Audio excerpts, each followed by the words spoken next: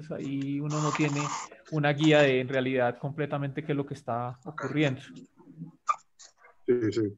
Y bueno, aquí está claro, pero ya, eh, ya la gente, por lo menos hoy estuve en Ikea y todo el mundo estaba con máscara que hace unos semanas no se veía. Pues. Ahora ya sí la gente como que se está tomando conciencia. Este es otro tipo también de gente, ¿sabes? La gente aquí toma más conciencia y, y, cuidan más, pues.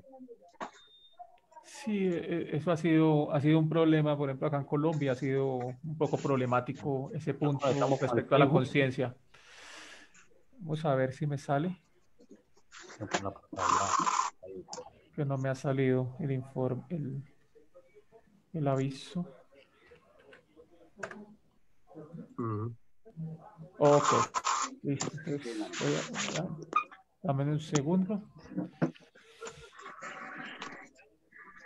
No se me coge nada.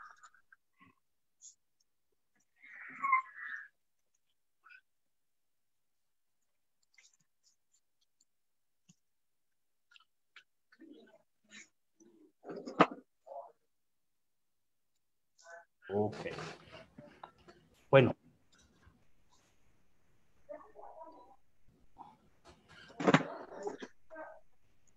Eh, necesito un favor, eh, por favor me avisan si, si están escuchando ahí desde ese. ¿Están escuchando? Perfecto, Freddy. estamos escuchando. Espera un segundo, espera, porque es que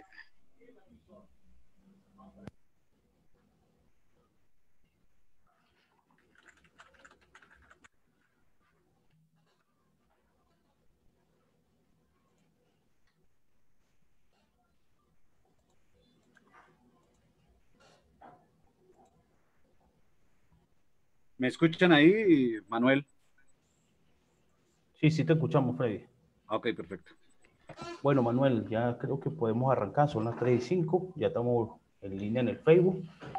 Perfecto. Eh, tengan todos ustedes muy buenas tardes. Eh, en el día de hoy tenemos un gran invitado, invitado muy especial, eh, don Ruperto Gascón, más conocido como Chicho Gascón. Él es un entrenador de esgrima con el cual Latinoamérica pues ha tenido muchos, muchos eh, momentos de orgullo. Eh, él ha sido entrenador de el campeón olímpico Rubén Limardo, que también ha sido campeón mundial. Y hoy nos viene a contar cómo crear un campeón olímpico por un latinoamericano, entrenado por un latinoamericano. Esto es algo que pocas veces se ve, pocas veces se, se, puede escuchar de la propia persona que lo ha vivido y que lo ha eh, experimentado y también cómo lo ha llevado desde la formación hasta el punto máximo que puede ser una medalla olímpica o un campeonato mundial. Eh, vamos a, escucharlo el día de hoy. Espero sea de su agrado y espero sea de, también de un, un aprendizaje muy completo. Eh, Freddy. Bueno, muy buenas tardes para todas las personas que nos acompañan el día de hoy. Agradecerles por, por estar con nosotros. Eh, Table Tennis Technology Academic hoy tiene un invitado especial que nos dará muchas cosas, nos contará muchas cosas de cómo él pudo lograr eh, el sueño de, cualquier entrenador, eh, una medalla olímpica y pues varias medallas a nivel mundial. Entonces, eh, yo creo que para las personas que nos acompañan en Zoom y en Facebook Live, los invitamos para que todas sus inquietudes, preguntas que tengan, las realicen. Nosotros al finalizar pues la charla con Ruperto estaremos dando respuesta a, todas las inquietudes que ustedes tengan, pero eh, realmente eh, me siento muy feliz de, poder hablar con alguien que, nos puede contar qué es un sueño olímpico, qué es eh, poder estar en el podio olímpico y, y, eso para mí como entrenador es muy, muy enriquecedor y muy grato. Y esperamos que ustedes disfruten de esta charla y bienvenidos. Muy buenas tardes y noches para algunos, como Luis y Ruperto, que nos, están en el otro lado de Latinoamérica. pero que todos su, sus sueños y corazón están en Venezuela, ¿no? Eh, por supuesto que para todos los que nos acompañan, tanto en el Zoom como en el Facebook Live, le damos la bienvenida, que el Señor Jesucristo nos abra el conocimiento, nos proteja, nos bendiga y que aprovechemos que no todo el tiempo se tiene a una persona que ha hecho una carrera dentro del el deporte, eh, que ha tenido resultados eh, con un sistema de entrenamiento que aún queda por dar, porque no es solamente Rubén Limardo, es, es Francisco, el llamado Bebé, que son tres hermanos, eh, que han hecho un proceso conjuntamente con muchos, y Chicho se lo explicará a detalle, por eso no me quiero entender por darle la entrada a Ruperto Gascón, que por cariño se le dice Chicho y es conocido en Venezuela como Chicho, y es un orgullo para mí entonces presentarlo dentro de esta eh, unión de amigos llamado Table Tennis Academy. Lo dejo entonces con el invitado. Eh, los micrófonos son tuyos, Ruperto, y eh, coloco la presentación para que puedas entonces empezar tu presentación y deleitarnos con eso, con todo ese trabajo que vienes haciendo. Eh, bueno, buenas tardes a todos los, que nos están viendo, escuchando en estos momentos.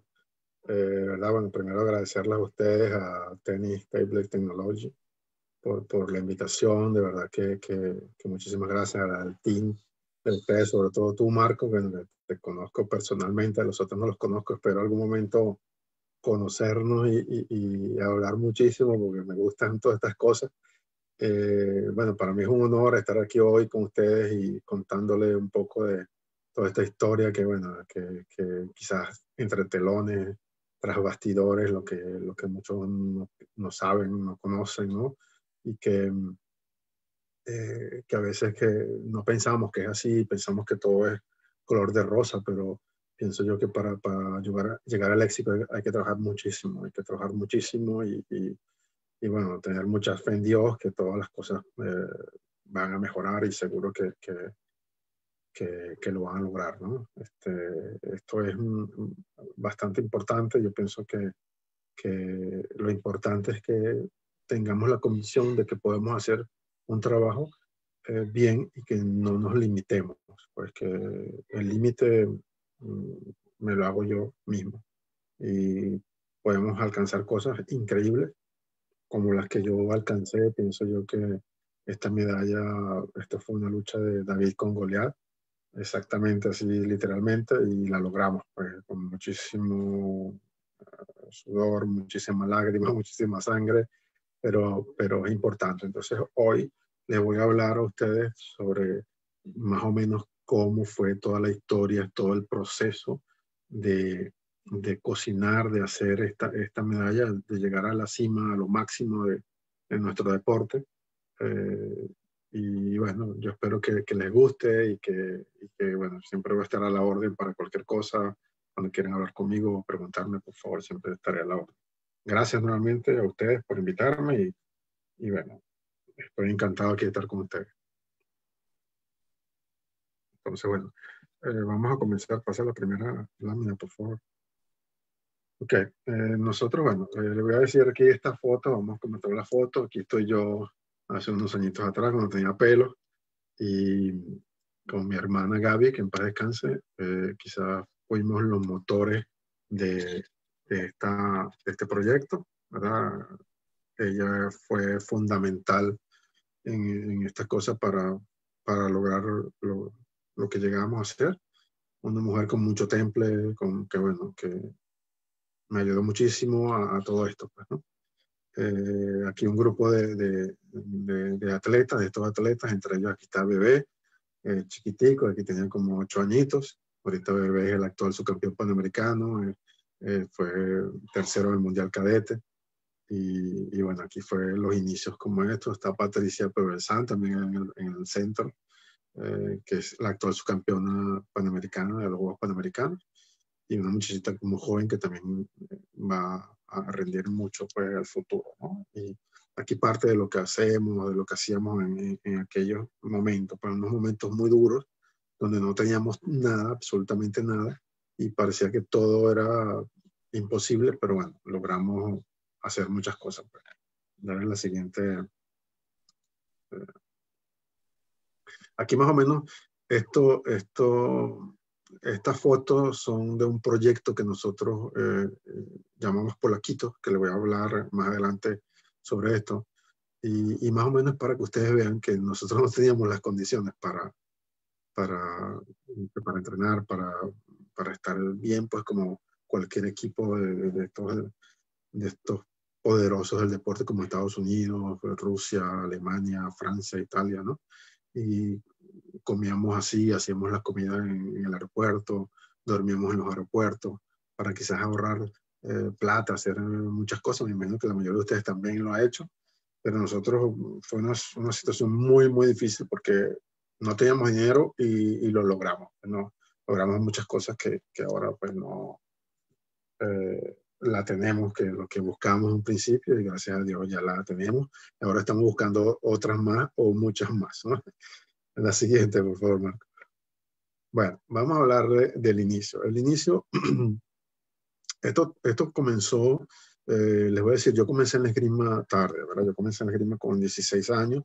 Yo vengo del fútbol en el fútbol eh, fue campeón nacional eh, de las categorías menores y, y ya, lo logramos. Tenía buena, buena perspectiva como futbolista, pero como yo no era de la capital, eh, tenía muchos problemas en, en, en, en entrar a, a, lo que es selección nacional, esto, un, un campeonato nacional que es segundo en goles y nunca me, ni siquiera me tomaron como, como como reserva, ni, ni nada, ni, ni, para entrenar. Entonces, del fútbol, quizás mm, desmotivado, busqué otro deporte. Tenía un compañero de estudio y, y en el liceo y me, me, me, recomendó esgrima. Claro, venía fuerte, estaba formado, estaba ya un muchacho físicamente bien hecho. Y, y, bueno, llegué al esgrima, por supuesto que al entrenador le gustó muchísimo y empecé a hacer eh, este esgrima, ¿no? Pero yo en la esgrima no, no, era muy bueno, quizás como en el fútbol.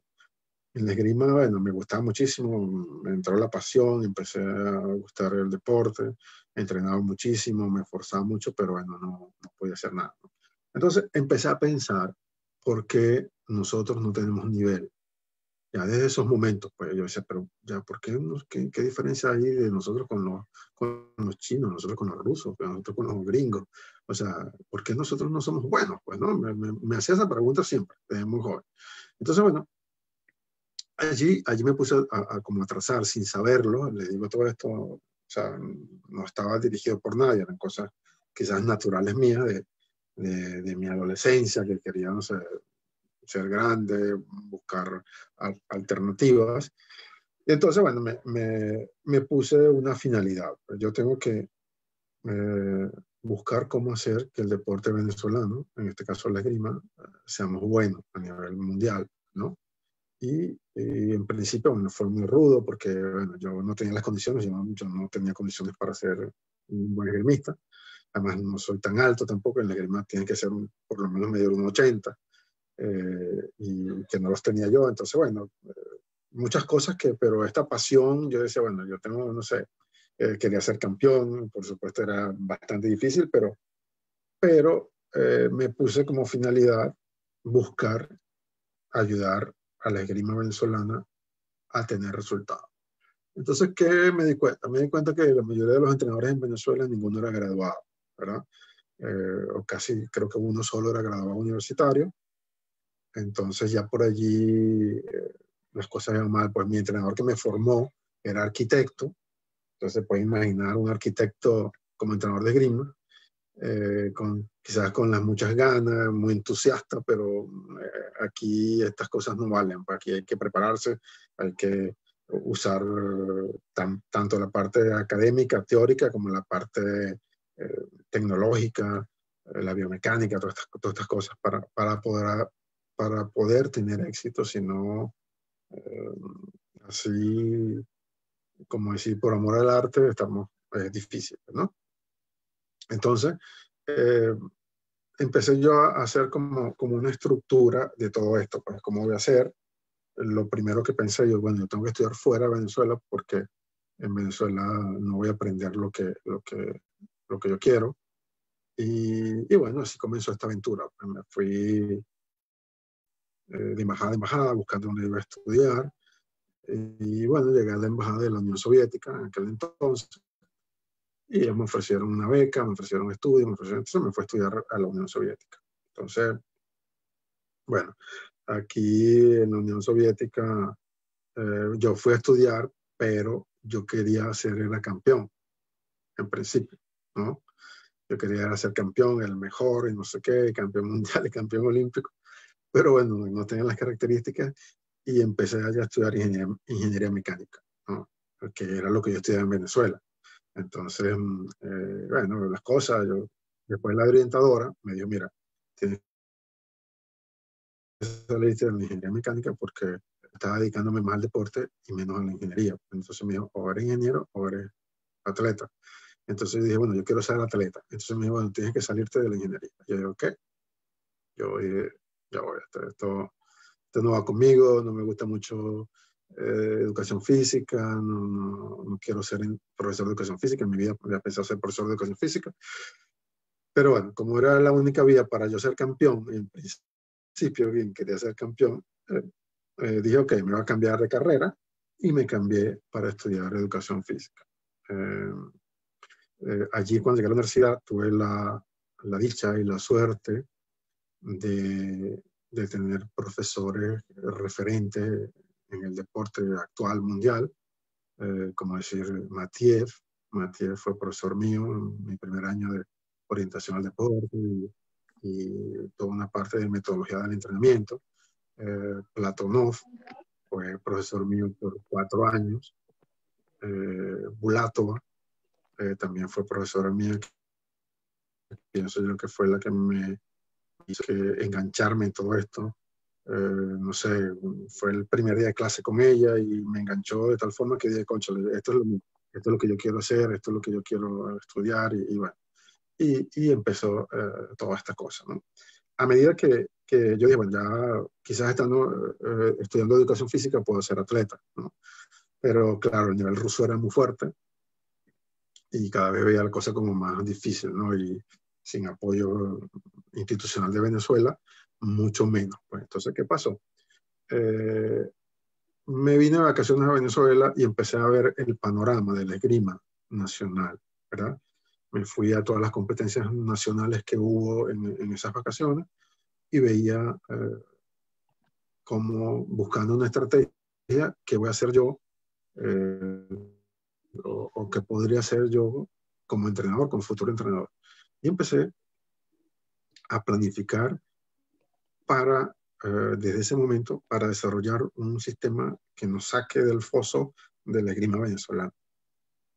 Este, eh, esta planificación primero fue paso por paso ir a todas estas competiciones nacionales, ver cuáles eran las armas más fuertes, cuáles eran las más débiles, ¿no? Y, y, hacerme ya una idea de lo que iba a trabajar. ¿no? Eh, en, en, principio me seguía llamando la atención porque somos malos, ¿verdad? Eh, y uno de, los profesores, uno de los profesores de, de, de la universidad, la Juventus.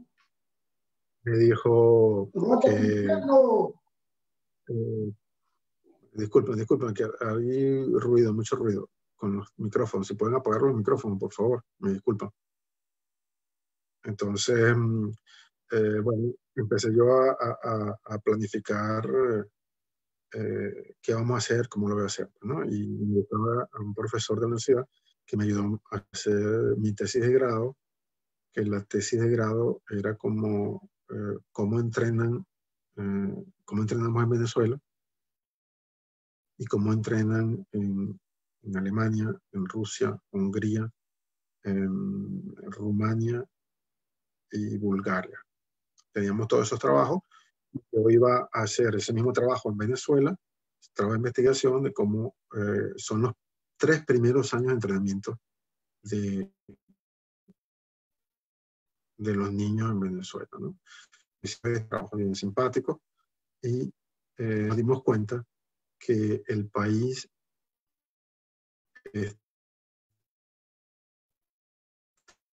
estaba totalmente a la del mundo. El trabajo con Venezuela es muy específico y en estos países más desarrollados no es nada específico.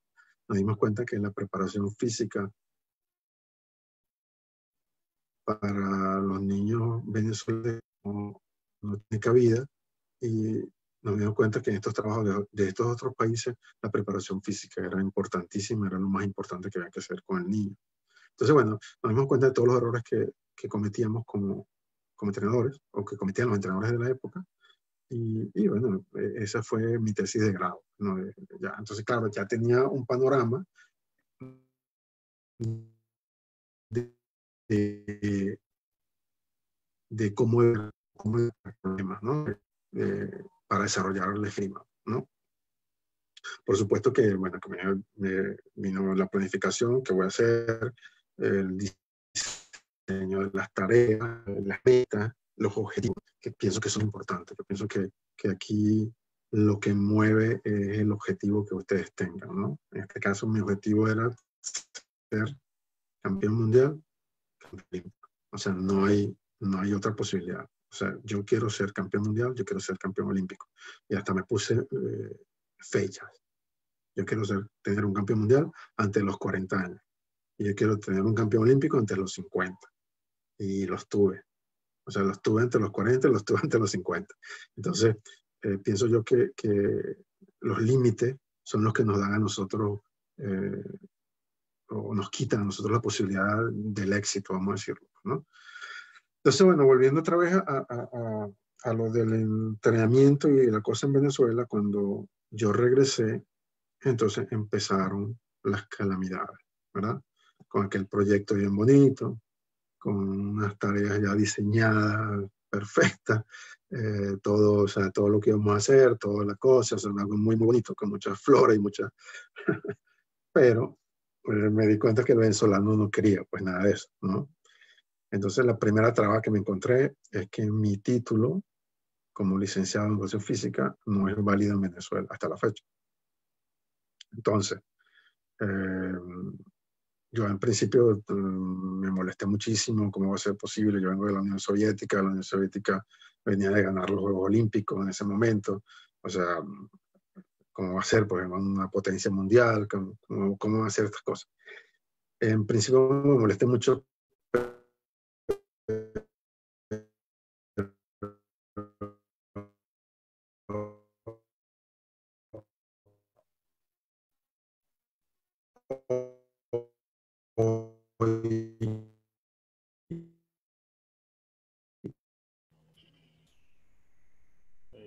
Chicho, la última parte no se escuchó, creo que se cayó el, internet.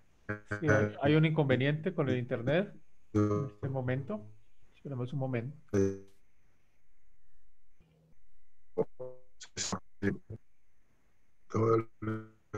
¿Escucho ustedes? Ahorita te escuchamos, pero toda la parte anterior, cuando te quedaste en, en lo del título, de ahí en adelante no se escuchó. Entonces, para ver si lo puedes repetir. Eh,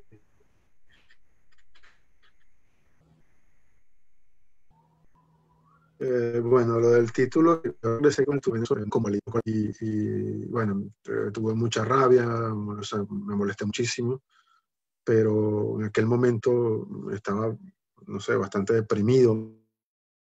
Decir, ¿cómo hacer? Yo, una potencia, son los Juegos Olímpicos en esos años, ¿cómo, ¿cómo, van a hacer? Pues, ¿no? ¿Cómo van a hacer estas cosas? Entonces, bueno, ahora, gracias a Dios, puedo decir que, que me hicieron un favor porque estuviera yo trabajando como profesor de educación física en Venezuela, dándole un balón a un muchacho para que juegue fútbol, voleibol, basquetbol y no haciendo más nada, porque me hubiese perdido quizás como entrenador.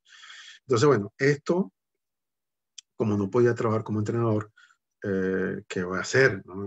Soy graduado en esgrima, soy profesor de educación física, pero especializado en esgrima.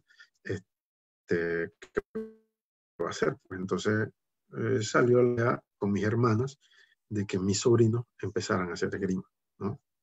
Que ahí entró Rubén Limardo, que es sobrino mío, y quizás por esto es toda esta historia de la familia y toda esta, toda esta cosa que, que, eh, que hicimos, que, que un momento comenzamos con la familia, y después con los amiguitos de ellos eh, fuimos haciendo las cosas. Eh, ya en el momento de que no me convalidaron el título, eso fue como una marca de que las cosas eh, a partir de allí no iban a ser las más deseadas. Pues. Por supuesto, la tesis mía a nadie le importó, nadie le hizo caso. Intenté con la federación de la época decirle, mira, vamos a hacer un proyecto serio, vamos a hacer esto, estamos, estamos eh, mal en esto, vamos a, vamos a hacer un proyecto serio. Pues. Por supuesto que no, no me prestaron atención, no me pararon nada. Entonces yo decidí hacerlo solo, con mi familia, ¿no? Por esto que sale todo esto de la familia, a veces a la gente, a mucha gente no le gusta, pero, pero bueno, no fue una, una, cuestión, una cuestión circunstancial. Pues. Eran los que tenía la mano, eran con los que podía trabajar en ese momento y entonces, bueno, eh, empezó este proyecto a cocinarse eh, solo, sin ayuda eh, de la federación de la época, sin ayuda de la asociación de mi estado, que también estaba en contra de nosotros, y sin ayuda de, de nadie, pues ni comité olímpico, nada, solo mi familia y yo. Que la familia mía sí creyó en este proyecto y mis hermanas dijeron, sí, vamos a, vamos a echarle pierna, como decimos en Venezuela, vamos a, hacer esto y vamos a, llevar a estos muchachos a otros niveles. Pues. Comenzamos allí, eh, a la siguiente, por favor, la siguiente. Eh, comenzamos allí a hacer eh, este movimiento de muchachos, con, como les dije, con, con, en principio con amiguitos de, de mi sobrino y después amiguitos de los amiguitos. A la final llegó un momento en que yo tenía más de 170 muchachos haciendo esgrima Em, eh, mi hermana, ella era bastante revolucionaria, vamos a decirlo, ella tenía unas convicciones bastante de izquierda, vamos a decirlo así, y ella siempre decía que la grima debe ser, no debe ser elitesca, que debe ser de gente pobre, que para todo el mundo, pues, que le puede llegar a todo el mundo. Y de aquí salió la idea que hicimos un, un, un eh, hicimos una, eh, organizamos una ONG para ayudar a los niños del barrio más pobre de la ciudad hacer esgrima. Entonces, bueno, en ese momento em, la, la, la, cosa, bueno, ok, pinta bien, vamos a trabajar con estos niños, eh, sacamos muchísimos niños de la, de la delincuencia, eh, hubieron muchos niños que llegaron con, con eh, armas caseras, a los primeros entrenamientos iban, como decimos en Venezuela, calzados con, con armas caseras, chopo llaman en Venezuela, no sé cómo lo llaman en otros países, pero este, estos niños llegaban a la, a, la sala, eh, no a la sala, a la calle, agarramos una calle del barrio y allí empezamos a entrenar. Eh, de allí, con mucho orgullo, puedo decir que salió uno de, de, de mis atletas insignes, que se llama Wolfgang Mejía, este, olímpico, eh, fue quinto en un mundial, múltiple campeón panamericano, bolivariano, todas estas los, zonales de la zona, él era como uno de los atletas en principio más fuertes, ¿no? Y salió precisamente de ese barrio. para que tengan una idea, la mamá la mataron por la espalda, no sé cuántos tiros le metieron en la espalda, el papá se quitó un ojo fabricando una pistola esta casera, eh, el hermano, una piltrafa humana, o sea, todo eh, drogo, todo lo peor, pues, ¿no? Y, bueno, rescatamos a este muchacho que ahorita es un muchacho con estudio, eh, vive en Estados Unidos, por cierto, y, bueno, con familia, que quizás es, es, como la insignia de que nosotros, el trabajo que hicimos allí con, con esto. Bueno, como todo esta ONG, por desgracia, no es que tenga nada contra los cubanos, pero en ese momento dentro de la ONG empezaron a entrar los cubanos a Venezuela y se robaron toda la plata de la ONG nosotros y entonces bueno se perdió todo el trabajo pues entonces bueno, ok ya entonces pero entonces qué hacíamos llevábamos a estos niños ya para el gimnasio de esgrima y nos, nos, conectamos con los carros de todos hacíamos eh, eh, toda una travesía para llevar a estos, a estos muchachos no y empezamos a tener muchos muchachos, de esgrima, no teníamos material, no teníamos nada, usábamos las hojas de esgrima, el material eh, el de sable es más barato, para que la hoja de sable cuesta 10 euros y la hoja de espada cuesta 160. Entonces, eh, si te pones a entrenar con las espadas, va a ser muy costoso, o sea, eh, no sé, como, como tener, no sé, media raqueta por ustedes, lo de tener en mesa, algo así, pues, es otra cosa, ¿no? Y, y bueno, con muchísimo, um, con muchísimo amor, con muchísimo cariño, empezamos a darle estructura a la organización que nos iba a llevar al éxito. Porque yo pienso que detrás de todo esto está una buena organización. Si no tenemos organización, olvídense, va a ser muy difícil. Tenemos que hacer la organización, pero como en mi país eh, la organización deportiva eh, no está, no hay, no existe, la tendríamos que fabricar nosotros mismos. Entonces, bueno, fabricamos, eh, como si hicimos una escuela, con estructura, con su gente, sobre todo los que manejaban el dinero, el recurso, colocamos a tres personas. Para hacer cualquier cosa tenían que hacer las tres juntas y entonces era más difícil robar, teníamos mucho control. Y, y, bueno, empezamos a hacer toda esta estructura, vamos a decir, organizativa que nos iba a La estructura organizativa la manejaba mi hermana, que en paz descanse, como la líder de, de todas estas cosas.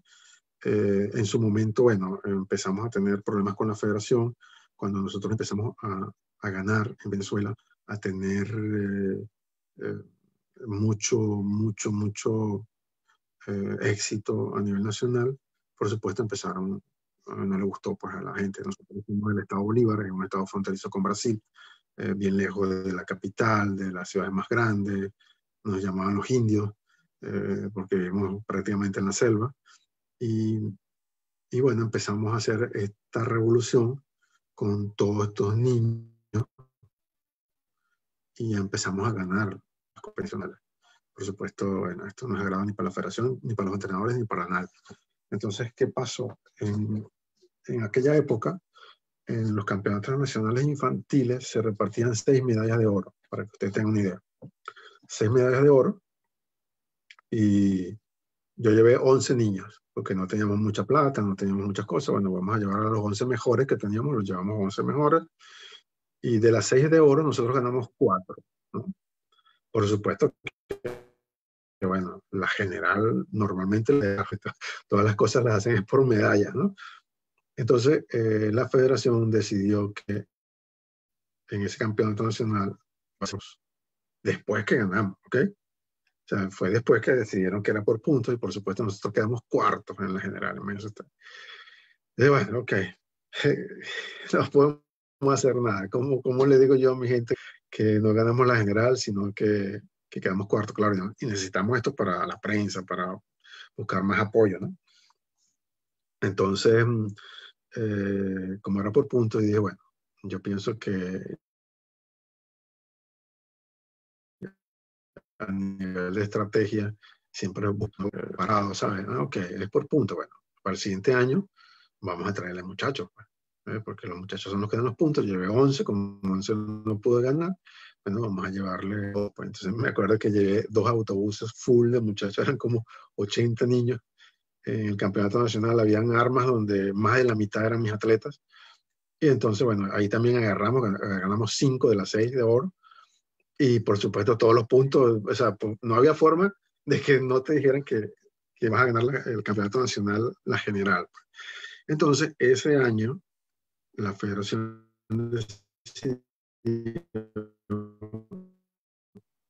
que no entré en federación. Entonces, te imaginas, y hubo un arma donde los alumnos míos quedaron primero, segundo, tercero y tercero, porque en Grima se reparten dos de bronce. A, a, esos cuatro niños no le dieron la medalla. Entonces, usted se imagina cómo yo, como entrenador, le digo a un niño que no tienes medalla que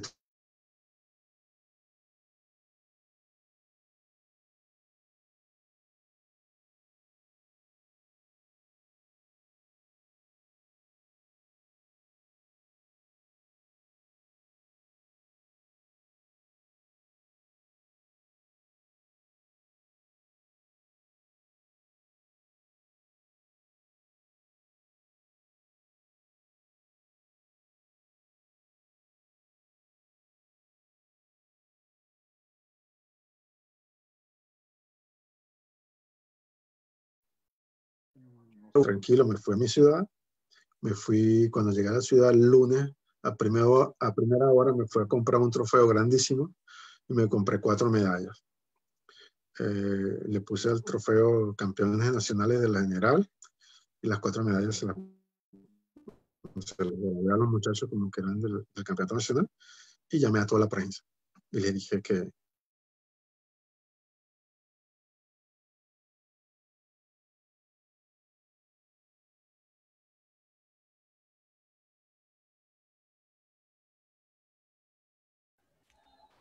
Segundo, tenemos algo de problema con la conexión. ¿Sí? Sí, hay un- todo esta, todo esta barullo, todas estas cosas que, que nos hacían que eran horribles, o sea, horribles. Sí, eh, eh, bueno, a todos Vamos. vamos a esperar que, que vuelva Ruperto a conectarse. Déjame conectar, ubicarlo por, por otro lado. Eh, sí, hoy no ha sido un buen día para las conexiones. A mí a mí me acabó de, de sacar un segundo.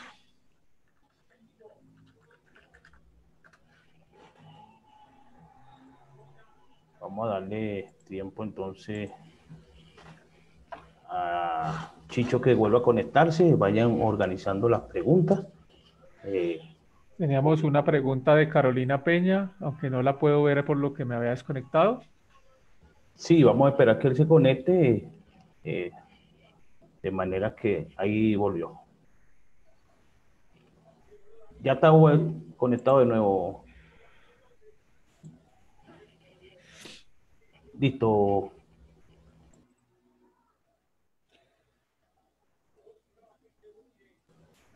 Listo, Chicho, puedes continuar. Te,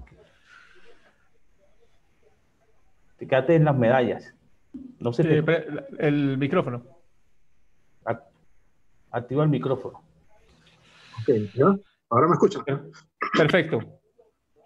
Eh, Me disculpen, pero no sé qué es lo que pasa con mi teléfono y se volvió loco, de verdad.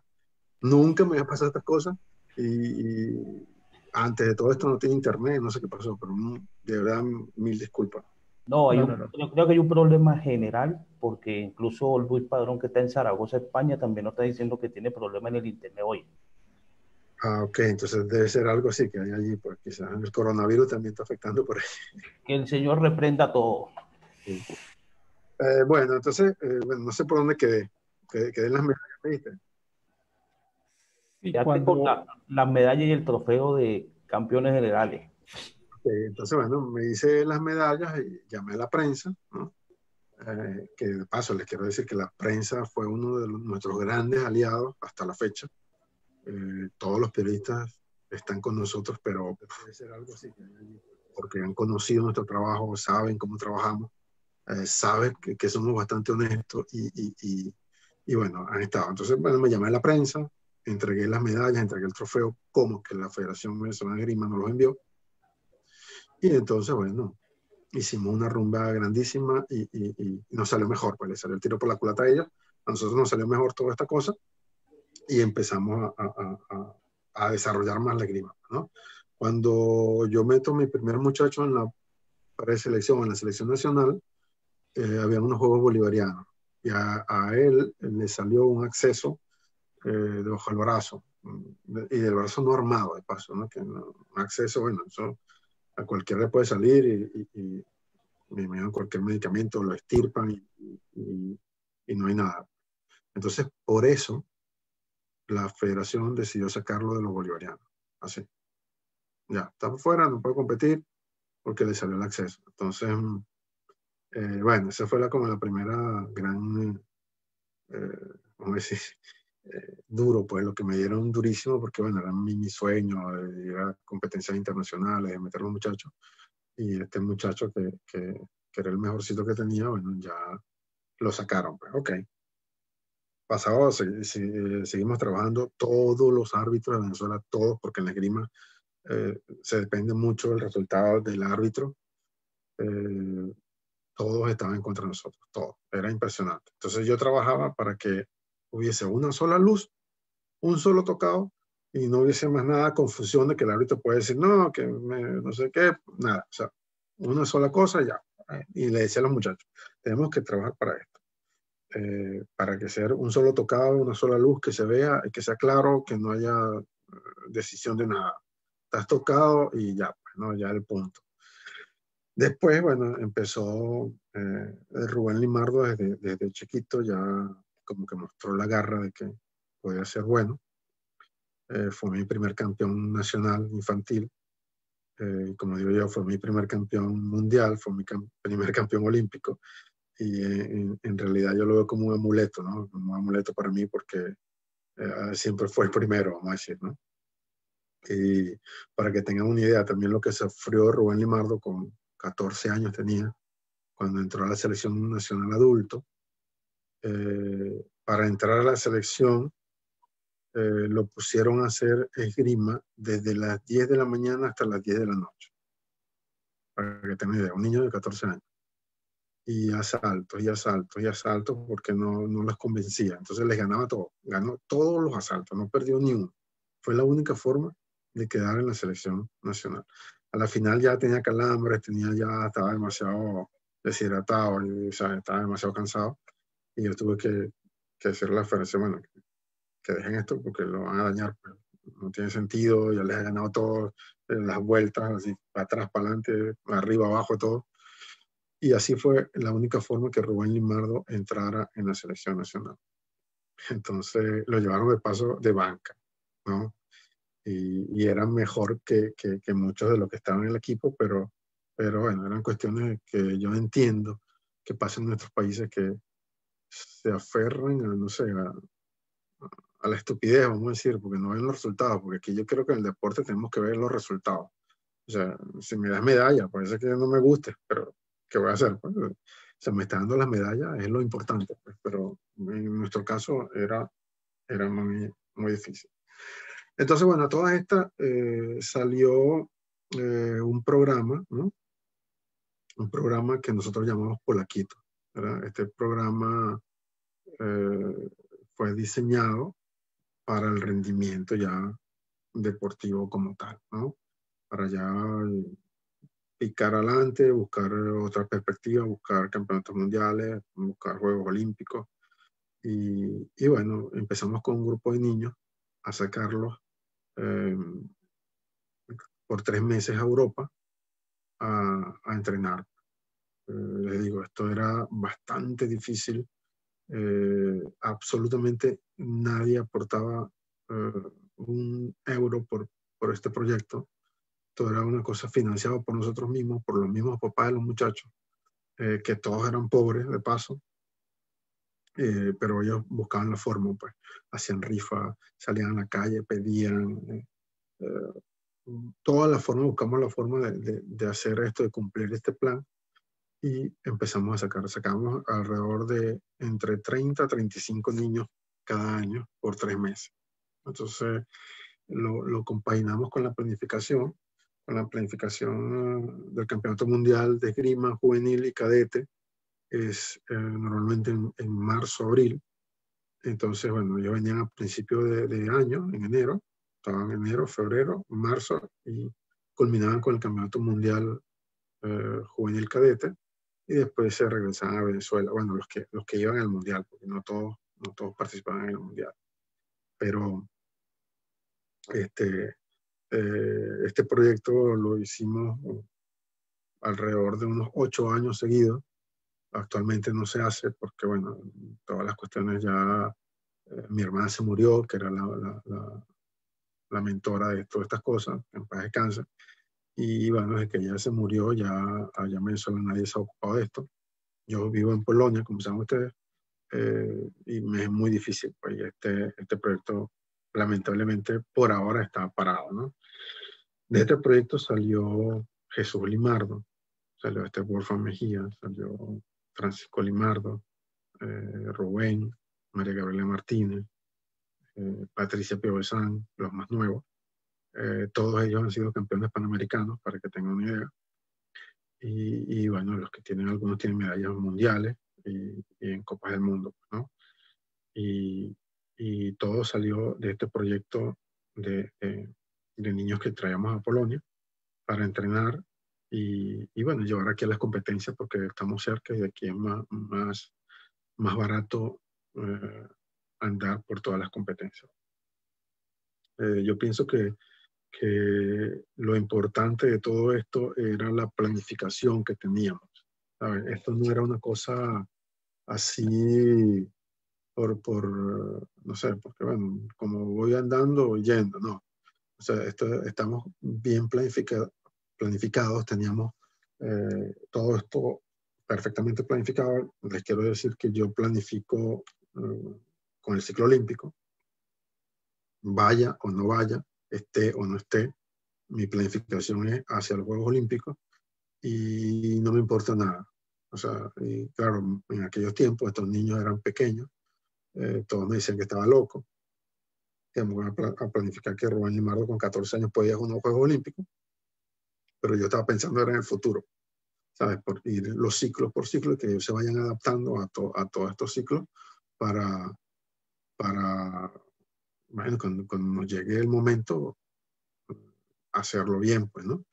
Entonces, bueno, eh, toda la planificación que les decía de traer a los muchachos tres meses antes para que participen en el mundial, quizás preparar lo, los últimos detalles eh, de los mundiales y, y, todo era en base a, a las competencias grandes que hay en, en, este deporte, pues, ¿no? Porque normalmente no sé cómo es en la federación de ustedes, pero normalmente nuestras federaciones son un desastre y, y todas las competiciones son totalmente diferentes y locas, locas que nadie sabe, nadie se explica por qué, pero lo hacen como al revés todo, ¿sabes? Y, me imagino porque no tienen planificación, no tienen nada de esto, ¿no? Y, y, y bueno, todo esto empezó como a, a darnos cierto... Eh, decir, nivel, empezamos a agarrar como alas, empezamos a volar más alto y eh, por supuesto que empezaron a llegar gente a ayudarnos, pues a toda esta, eh, a todos estos sacrificios que hacíamos, lo hacíamos para, eh, para nosotros. El país no colaboraba con nosotros en nada, ni la Federación de Grima, ni el Comité Olímpico, ni el Ministerio de Deporte. O sea, éramos como que nosotros estamos solos hasta la fecha hasta la fecha pienso que es así. Nosotros, el grupo de nosotros acá en Polonia, es un grupo como que totalmente diferente al, al resto del país y totalmente diferente al resto de la esgrima mundial. De hecho, cuando vamos a un campeonato mundial, es como dos selecciones separadas. O sea, esto, y no es porque yo quiera, ¿sabes? Sino porque aquellos son los que nos se unen a nosotros y bueno, este, eh, nosotros preparamos todo. Somos como una mini federación, vamos a decirlo así, con respecto a los otros. Entonces, bueno, eh, ellos, eh, todas estas cosas eh, lo hacían, no sé, adrede, quizás para que no avanzaran, eh, para que no, o sea, no dejáramos todas estas cosas, pues, pero nosotros éramos como muy fuertes, pues en ese sentido seguíamos, sí, nos, nos dolía todas las cosas que nos hacíamos, pero seguíamos más adelante. Y en este camino, siempre encontramos ángeles, que llamo yo. Son gente que nos ha ayudado sin, sin nada. Y en este camino de cuando estábamos acá en Europa, empecé a hacer contacto con gente eh, europea de, de Legrima y esta gente empezó a ayudarnos, ¿no? Por decir algo, íbamos a cualquier país y nos pagaban todo, ellos, ¿no? Tenemos, eran como unos sponsors, lo que llamamos sponsors. Eh, a veces nos daban dinero, eh, nos atendía muy bien. Entonces quizás gracias a todos estos ángeles que teníamos, eh, que no sé cómo llegaron, eh, podíamos desarrollar un poco esto, sin dinero, le digo. O sea, nosotros, nosotros no teníamos nada, absolutamente nada. Y así, bueno, por decir algo, íbamos a Italia y en Italia nos pagaban todo, desde el boleto del avión, comida, transporte todo. Entonces lo conseguimos, pues no, Imagínense, llegó un momento en que conocí al actual presidente de la Federación Italiana, que en aquel momento no era nadie, y, ese señor nos ayudó muchísimo. Pues. Y, me puse en contacto con otros que me ayudaron y, muchos nos ayudan muchísimo en, Dinamarca, en Luxemburgo, en, España, eh, y nos pagaban todo. Entonces yo pienso que sí se puede, lo que pasa es que hay que buscar la forma y cómo hacerlo, ¿no? Eh, eh, de aquí, bueno, este, esto nos ayuda muchísimo en las competencias internacionales porque eh, no teníamos los recursos y, esta era una forma de, competir.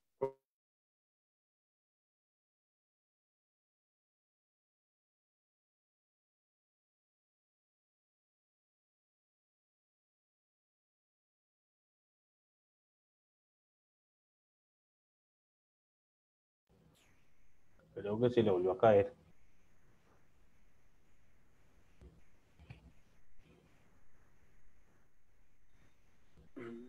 Al parecer se cayó otra vez el internet. Y se le cayó, eso vuelve a conectarse, vamos a estar pendientes.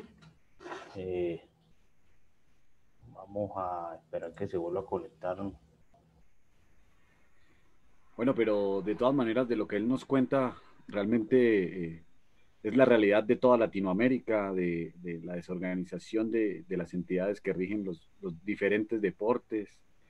Eh, y qué bueno escucharlo de una persona que, tuvo que hacer todo este proceso y, que a pesar de, la, los obstáculos, eh, eh, tenemos el resultado de que tiene campeón olímpico. Entonces, para las personas que, nos acompañan, esto es un un poco más motivante ver que a pesar de la adversidad, todo, todo se puede, simplemente tenemos que seguir eh, perseverando y tratando de, de, alguna manera eh, sacar adelante nuestros sueños, nuestros objetivos eh, y no rendirnos ante nada.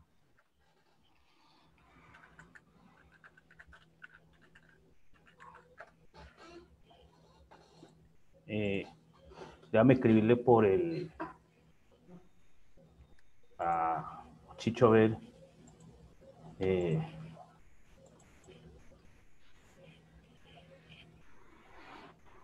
ajá. Vuelve a entrar.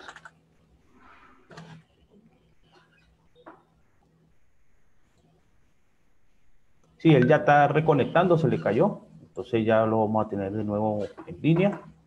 Eh, por supuesto, lo que decía Freddy, una gran historia, eh, saltando obstáculos, que es lo que toca para llegar a la cima.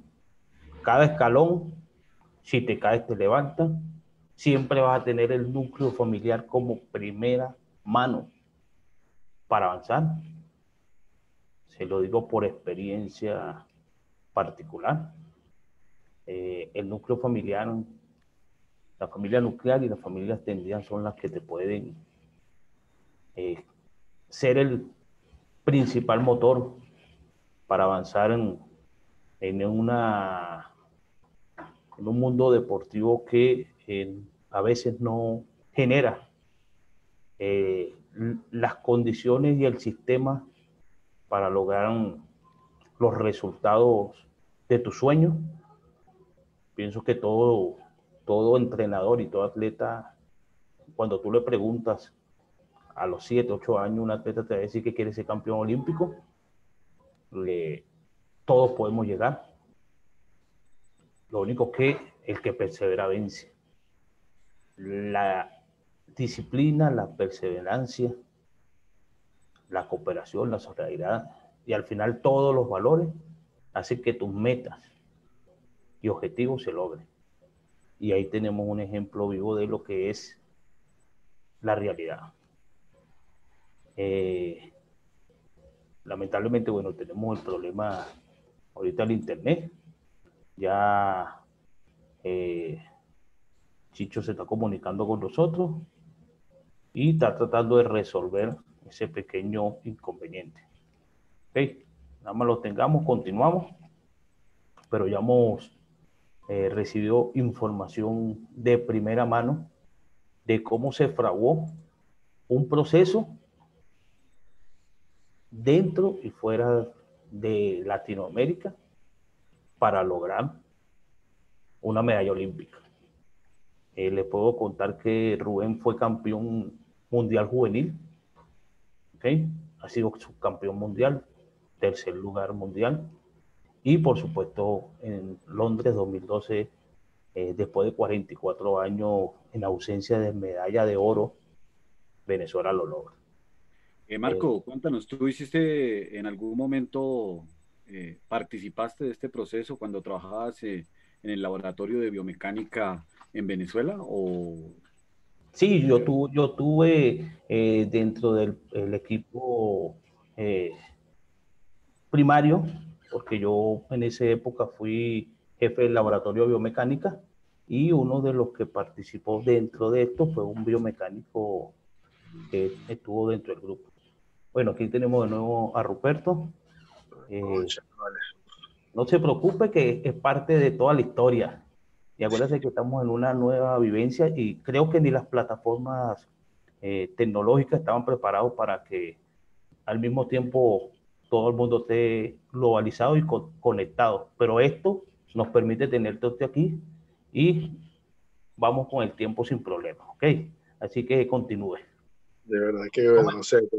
tómese un cafecito y déle un quesito al ratón para que siga dándole vueltas a internet. no sé qué pasa, pero de verdad que, hoy ha sido, así. Bueno, pero este, les decía, me quedé por eh, bueno, toda esta parte de, les hablaba creo de la planificación y de, todo la, lo que La ayuda que recibiste sobre todo de la Federación Italiana. Bueno, sí. Bueno, en ese momento no era la federación, ahorita él es, él es, presidente de la federación, pero en ese momento él era secretario de un club de Sicilia por allá abajo. Eh, y nos ayudó muchísimo y, y, bueno, quizás gracias a él también es parte de, de, toda esta medalla y todas estas cosas, como todo en España en Dinamarca, en, Luxemburgo, en Suiza, que nos ayudaron muchísimo también por, por, por lograr todo esto. Pues. Pero más que todo esto, eh, pienso yo que, que, la base de una buena planificación, porque es que la mayoría de nuestros entrenadores eh, no nos gusta planificar, no nos gusta hacer las cosas, ¿no? Y, y, pienso yo que cuando planificamos, cuando tenemos esto eh, bien eh, planteado, eh, nos podemos dar cuenta de los errores, que es lo más importante. Pues aquí el error que puedo tener yo y que, que no lo voy a cometer en, el, siguiente año, pues porque ya pasó todo este año, bueno, ya los errores que cometí aquí, intentar acomodarlos para, para la próxima. de esta forma, yo me di cuenta que, que, que, ya empezamos a tener como eh, vamos a decirlo, una fuerza, pues un poder dentro de, eh, de la esgrima, ya a nivel nacional eh, arrasábamos, eran los, mejores, llegamos a, ganar unos Juegos Nacionales, los Juegos Nacionales ganamos la general, que ahí sí no nos podían quitar la medalla, porque eran los Juegos, pero a partir de que ganamos la primera de los Juegos Nacionales, de ahí nunca los perdimos hasta que dejaron de hacerlo. ¿no? Entonces, Eh, todo ya era como muy, eh, todo era una avalancha de, de, toda la fuerza, de todos los resultados, que empezó a repercutir a nivel mundial. Nosotros salimos, eh, yo no sé si pasa así en el tenis de mesa, pero en la grima todos dicen que tú tienes que estar fuera para ser bueno, ¿sabes? Tú tienes que irte de tu país para ser bueno, porque entrenando aquí no te sirve, no va a ser bueno, ¿no? yo pienso que todas esas teorías se cayeron con nosotros, porque nosotros desde Ciudad Bolívar, que es la ciudad donde, vivíamos allá en Venezuela, por primera vez en el año 2000 fuimos a un mundial, ¿verdad? Y ese, eh, ese mundial fue un mundial cadete juvenil que fue en Estados Unidos, de Ciudad Bolívar. Nunca habíamos ido a una competición mundial, nunca habíamos ido a una competencia, nada, solamente en Venezuela y de Venezuela al mundial y allí metimos uno quinto, uno quedó, o sea, dos en final, uno quinto, el otro quedó sexto, eh, metimos dos en 16, en los 16 mejores del mundo, eh, y bueno, los demás quedaron, el, que más mal quedó quedó entre los 32 mejores del mundo. Entonces, ya allí me dio una señal de que sí podíamos hacer algo más, pues, porque sin tener roce internacional, sin hacer nada, logramos por lo menos este quinto lugar, que, era importantísimo para nosotros en ese momento. Eh, ya bueno, podemos hacer otras cosas, pues podemos imaginar, imaginarnos más cosas eh, mucho más productivas más adelante. Entonces de ahí, bueno, empezamos a, a pensar en Europa. Pasó algo siguiente, yo peleaba mucho con la federación en el sentido que yo consideraba que yo tenía la razón, yo tenía el conocimiento, ellos tenían el poder, por supuesto que me, me, me hacían añicos la vida como, como entrenador en Venezuela y, y yo decidí dejarles grima un tiempo. En el año 98 yo decido dejarles grima y empiezo a estudiar. Dije, no, voy a dejarles grima por un tiempo, quiero estudiar, quiero hacer algo eh, diferente. Entonces, bueno, me, me, fui a estudiar psicología y, y dejé la esgrima. Pues bueno, no es que la dejé, seguía con ellos más o menos, pero ya estaba más eh, distanciado. Después, eh, yo me di cuenta que en Venezuela el proyecto que yo quería no se iba, eh, no se iba a poder. No se iba a poder por la, no sé, digo yo, la, la inoperancia, el desconocimiento del deporte de, que tienen los dirigentes nacionales, pues llámese ministro, llámese presidente del Comité Olímpico, llámese presidente de Federación. Eh, la visión que, que, tienen ellos muy corta, además desconocen mucho de, lo que es el alto rendimiento. Entonces yo dije, mira, tengo que salir de aquí porque aquí esto no me va a funcionar. Entonces me vine a Polonia, me vine a Polonia a trabajar en otra cosa totalmente diferente a la esgrima, en la parte psicológica. Y, y bueno, aquí empecé yo como a hacer mi búnker, me empecé a, a, buscar la forma de cómo entrar a los muchachos. Eh, me traje en principio tres, eh, que sería Rubén Limardo, Wolfo Mejía, este que le este muchacho que rescatamos del barrio pobre, y María Gabriela Martínez, que es mi sobrina también, que ahorita es su campeona panamericana y también ha sido campeona panamericana y fue, hizo final en un mundial.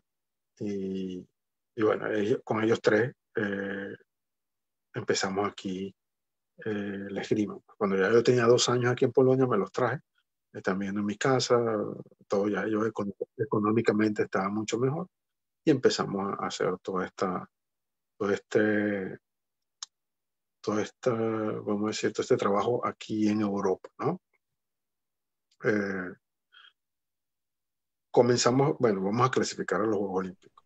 ¿no? Siempre... Bueno, eh, tengo una pregunta, eh, don, don, Ruperto. Eh, ese, ese cambio de salir de Venezuela y empezar a construir una, prácticamente una, un búnker, un centro satélite para poder eh, estar en las competencias europeas, ¿qué ventajas le trajo?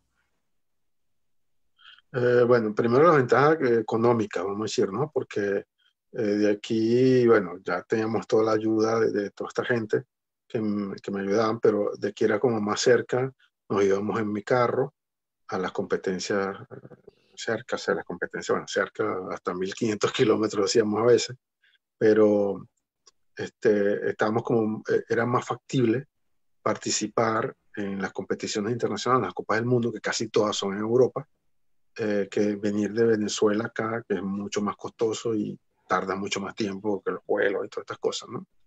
Eh, pienso yo que ese roce, eh, primero, eh, le dio el roce a, ellos como atletas, de verse que también están como de tú a tú con el europeo, que es el más fuerte en esgrima pues, en el mundo o es, es, el continente más fuerte, vamos a decirlo así.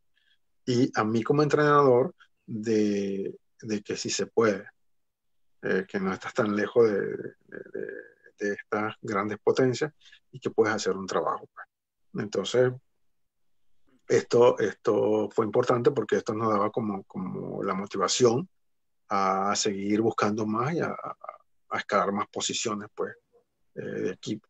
De aquí salió la idea de, de, ya tenemos que clasificar un nuevo olímpico, pues tenemos que clasificar un equipo un nuevo olímpico.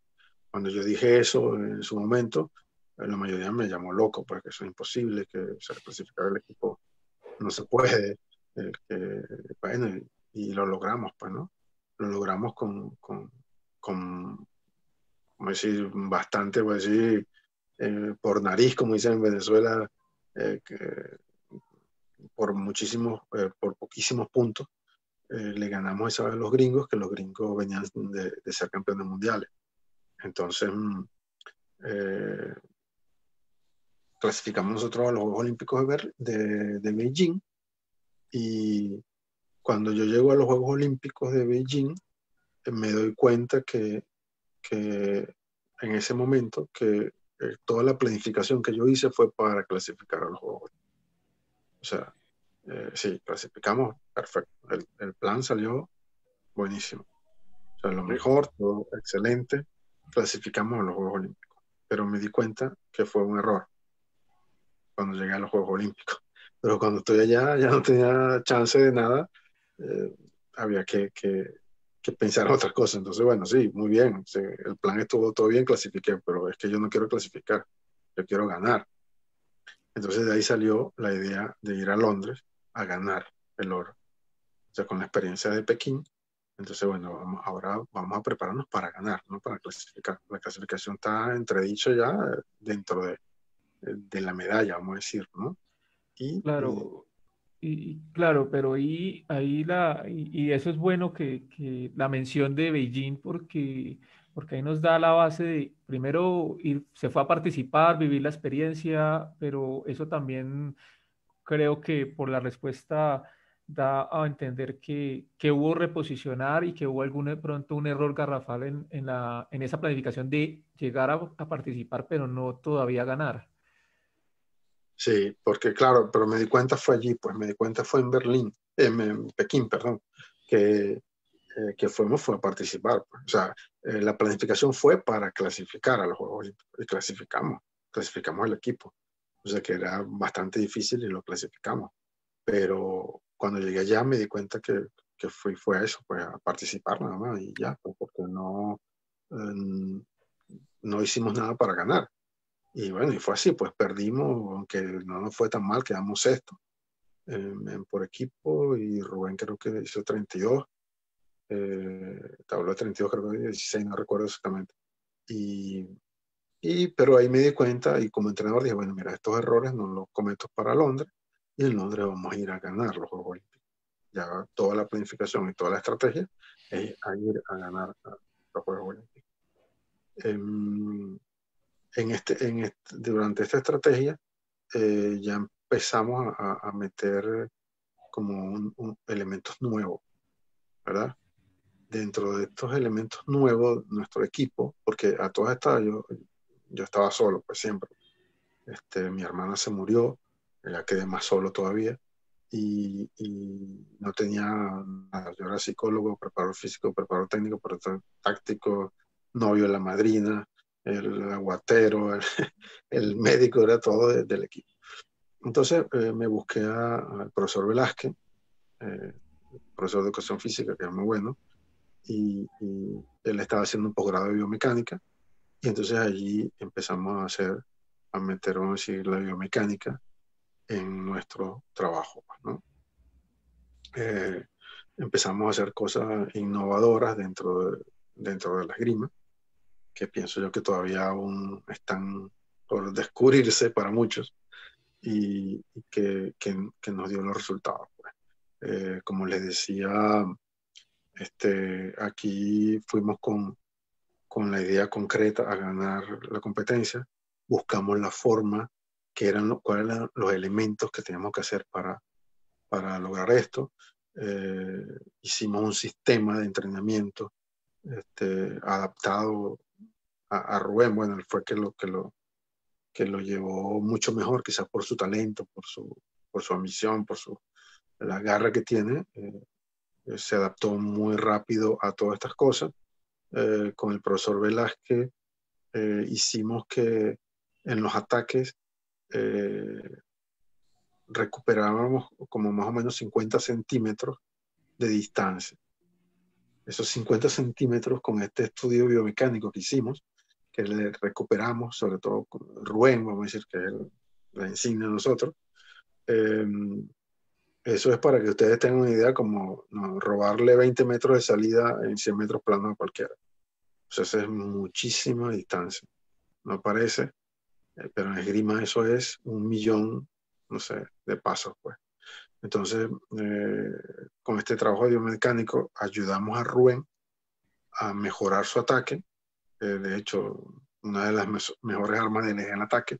Y en los Juegos Olímpicos sorprendió muchísimo, muchísima gente con sus ataques porque, eh, claro, tenía 50 centímetros de ventaja y esto es muchísimo en esgrima. ¿no?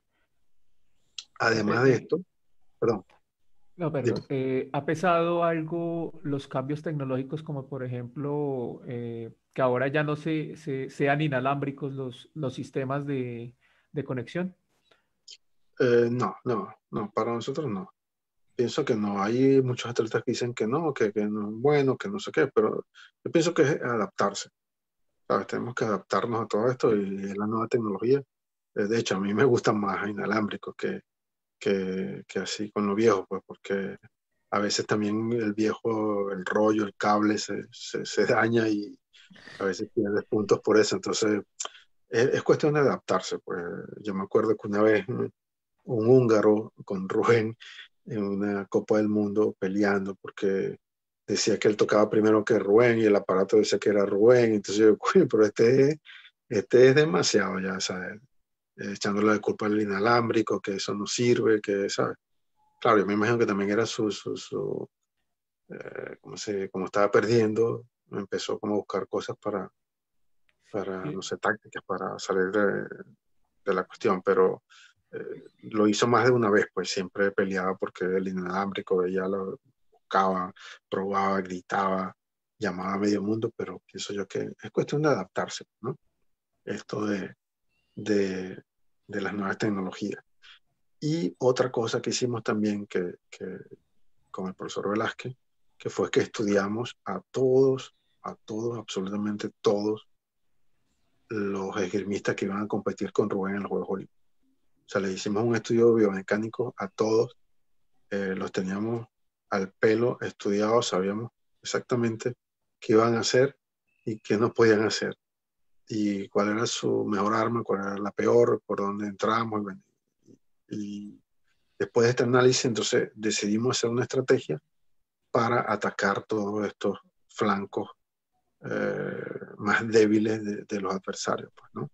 Por supuesto que él no se enfrentó a todos, pero ya cuando hubo, el sorteo, ya teníamos por menos, ya nos quitamos por decir 50% de atletas que no se iban a encontrar. Entonces, eh, bueno, se puede encontrar con esto. Entonces, eso nos, nos facilitó un poco el trabajo porque empezamos a, como planificar cada combate de acuerdo a, a, cada atleta que se iba a, enfrentar en ese momento. Y bueno, no, no, nos, nos surgió efecto. Quizás tuvimos más problemas, eh, fue con el primer asalto, que fue con el, egipcio, que era su campeón mundial juvenil, que ya te dice un nivel que tenía el muchacho más joven, y no lo conocíamos mucho porque no, ellos no participaron en, pocas competencias, eh, no teníamos videos de él, entonces fue el que menos analizamos porque era el de menos nivel supuestamente, pero consideramos que fue el asalto más difícil que tuvo él en esa Olimpiada porque este, era como que, bueno, no sé, sabíamos algo, pero no mucho, pues no, estaban, no estábamos tan seguros y, y bueno, gracias a Dios ganó ese asalto, ya después ya fue más, este, fue fluyendo pues sobre, sobre, sobre esto. Pero este, este trabajo, por decir, tanto físico, eh, mental, porque en esta parte ya yo he estudiado psicología y, y muchas herramientas, todos mis atletas tienen muchísimas herramientas psicológicas para, para salir de cualquier problema o, que los ayuda muchísimo. Y más la parte física con el profesor Velázquez, bueno, hicimos, hicimos este, como este binomio y, pudimos tener éxito en, en, Londres, pues, ¿no? Hacia, eh, eso, hacia eso quería también llegar, porque la parte psicológica es otro factor que, que dentro del proyecto siempre pesa. ¿sí? Entonces, ver que, que, la parte tecnológica pues sí tuvo influencia, pero no tan fuerte, pero hubo otros factores como el análisis estratégico y táctico y la psicología, me imagino que también tuvo un peso eh, supremamente fuerte. Eh, sí, porque bueno, nosotros, eh, además de ellos, ellos fueron nuestros conocidos de India cuando estudiábamos, porque yo estudiaba con mi hermana, ¿no? que en paz descanse. Y, y, nuestra tesis de grado también fue con ellos. Pues a estos niños, a todos estos niños que, que trabajaron conmigo, eh, les enseñamos muchísimas herramientas psicológicas eh, para, para, todas las situaciones, porque son muchachos bastante preparados este, psicológicamente y, y, y, yo pienso que esto, esto ayudó muchísimo, pues además una técnica psicológica que es la, la visualización que Rubén la usa muchísimo y es una técnica muy potente eh, para los atletas y él la usa muchísimo pues, y la aprendió con nosotros pues, y, y claro, ya cuando el talento y todas estas cosas, él me imagino que le pone su, su aderezo, como digo yo, y, y lo hace mucho mejor, pues, ¿no? Eh, Ruperto, bueno, de todo lo que nos cuentas, que, pues, realmente es fantástico, eh, digamos, cuando tú nos cuentas que planificas la clasificación a Beijing y que pues realmente ahí te das cuenta que, sí, que fue para solamente clasificar, no para ganar y bueno, dices, caramba, voy a clasificar a Londres y en Londres voy a ganar y ese es mi, mi objetivo. Eh, tú armas un equipo de, profesionales de ciencias aplicadas, eh, con quienes trabajaste, ¿cuál de estos eh, profesionales crees que te aportaron eh, para poder lograr esta medalla? O sea, ya nos dices que, que José con, con los estudios biomecánicos, pero pues no sé si tuviste el apoyo de otros profesionales en otras áreas, que pues como sabemos, eh, para un campeón olímpico pues tenemos que mirar absolutamente todos los detalles.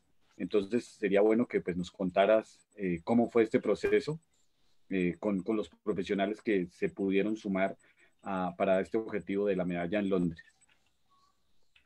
mira, de verdad que no, no tuvimos a nadie, solamente nosotros solos. O sea, yo solo prácticamente.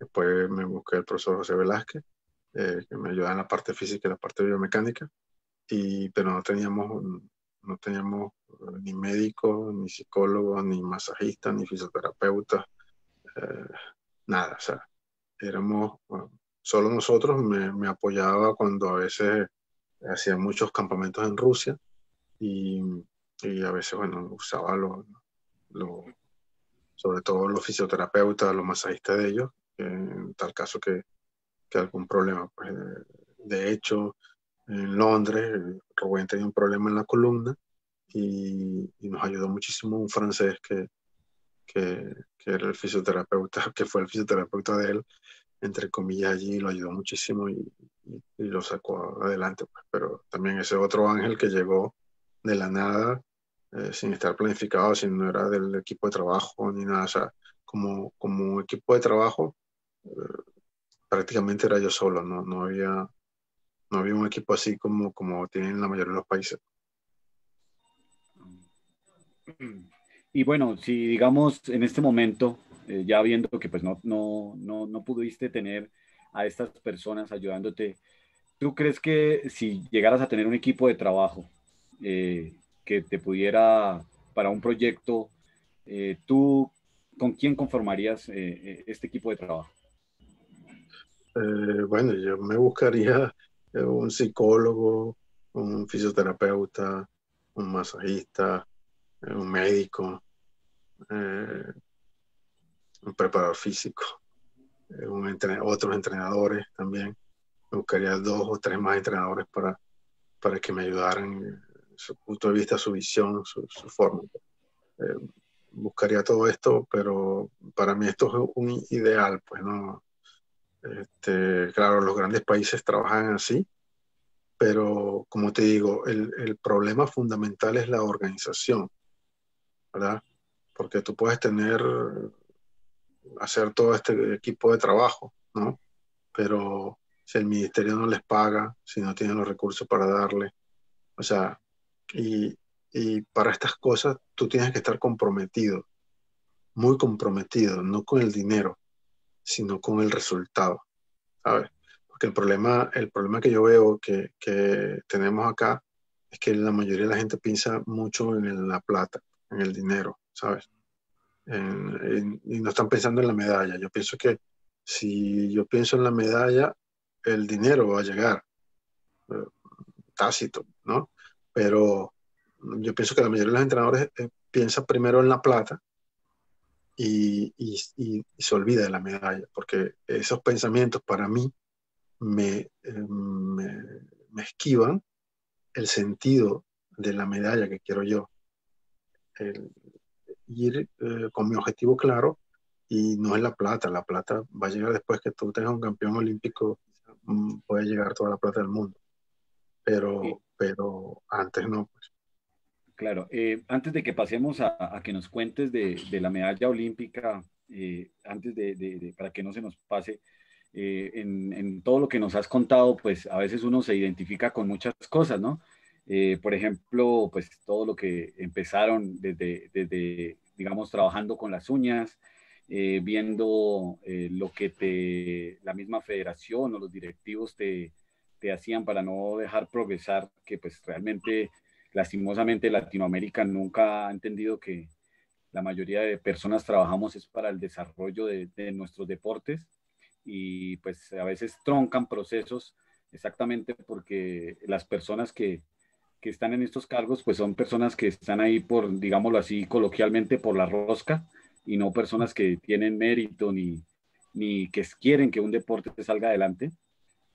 Em, ¿Qué le recomendarías a, los entrenadores que nos acompañan, que a pesar de las circunstancias eh, que a veces se nos presentan, eh, como te lo dije anteriormente, eh, uno tiene que seguir luchando por tus sueños y tú eres un ejemplo de eso, que a pesar de la adversidad, a pesar de, todas las personas que a veces quieren troncarnos nuestros proyectos, uno tiene que seguir luchando y, pues qué bueno que tú nos lo cuentas así y pues nos gustaría que, de parte tuya, eh, ya que tú lo hiciste, nos aconsejaras y, nos dieras pues como, como esas palabras para seguir siempre adelante a pesar de las circunstancias adversas.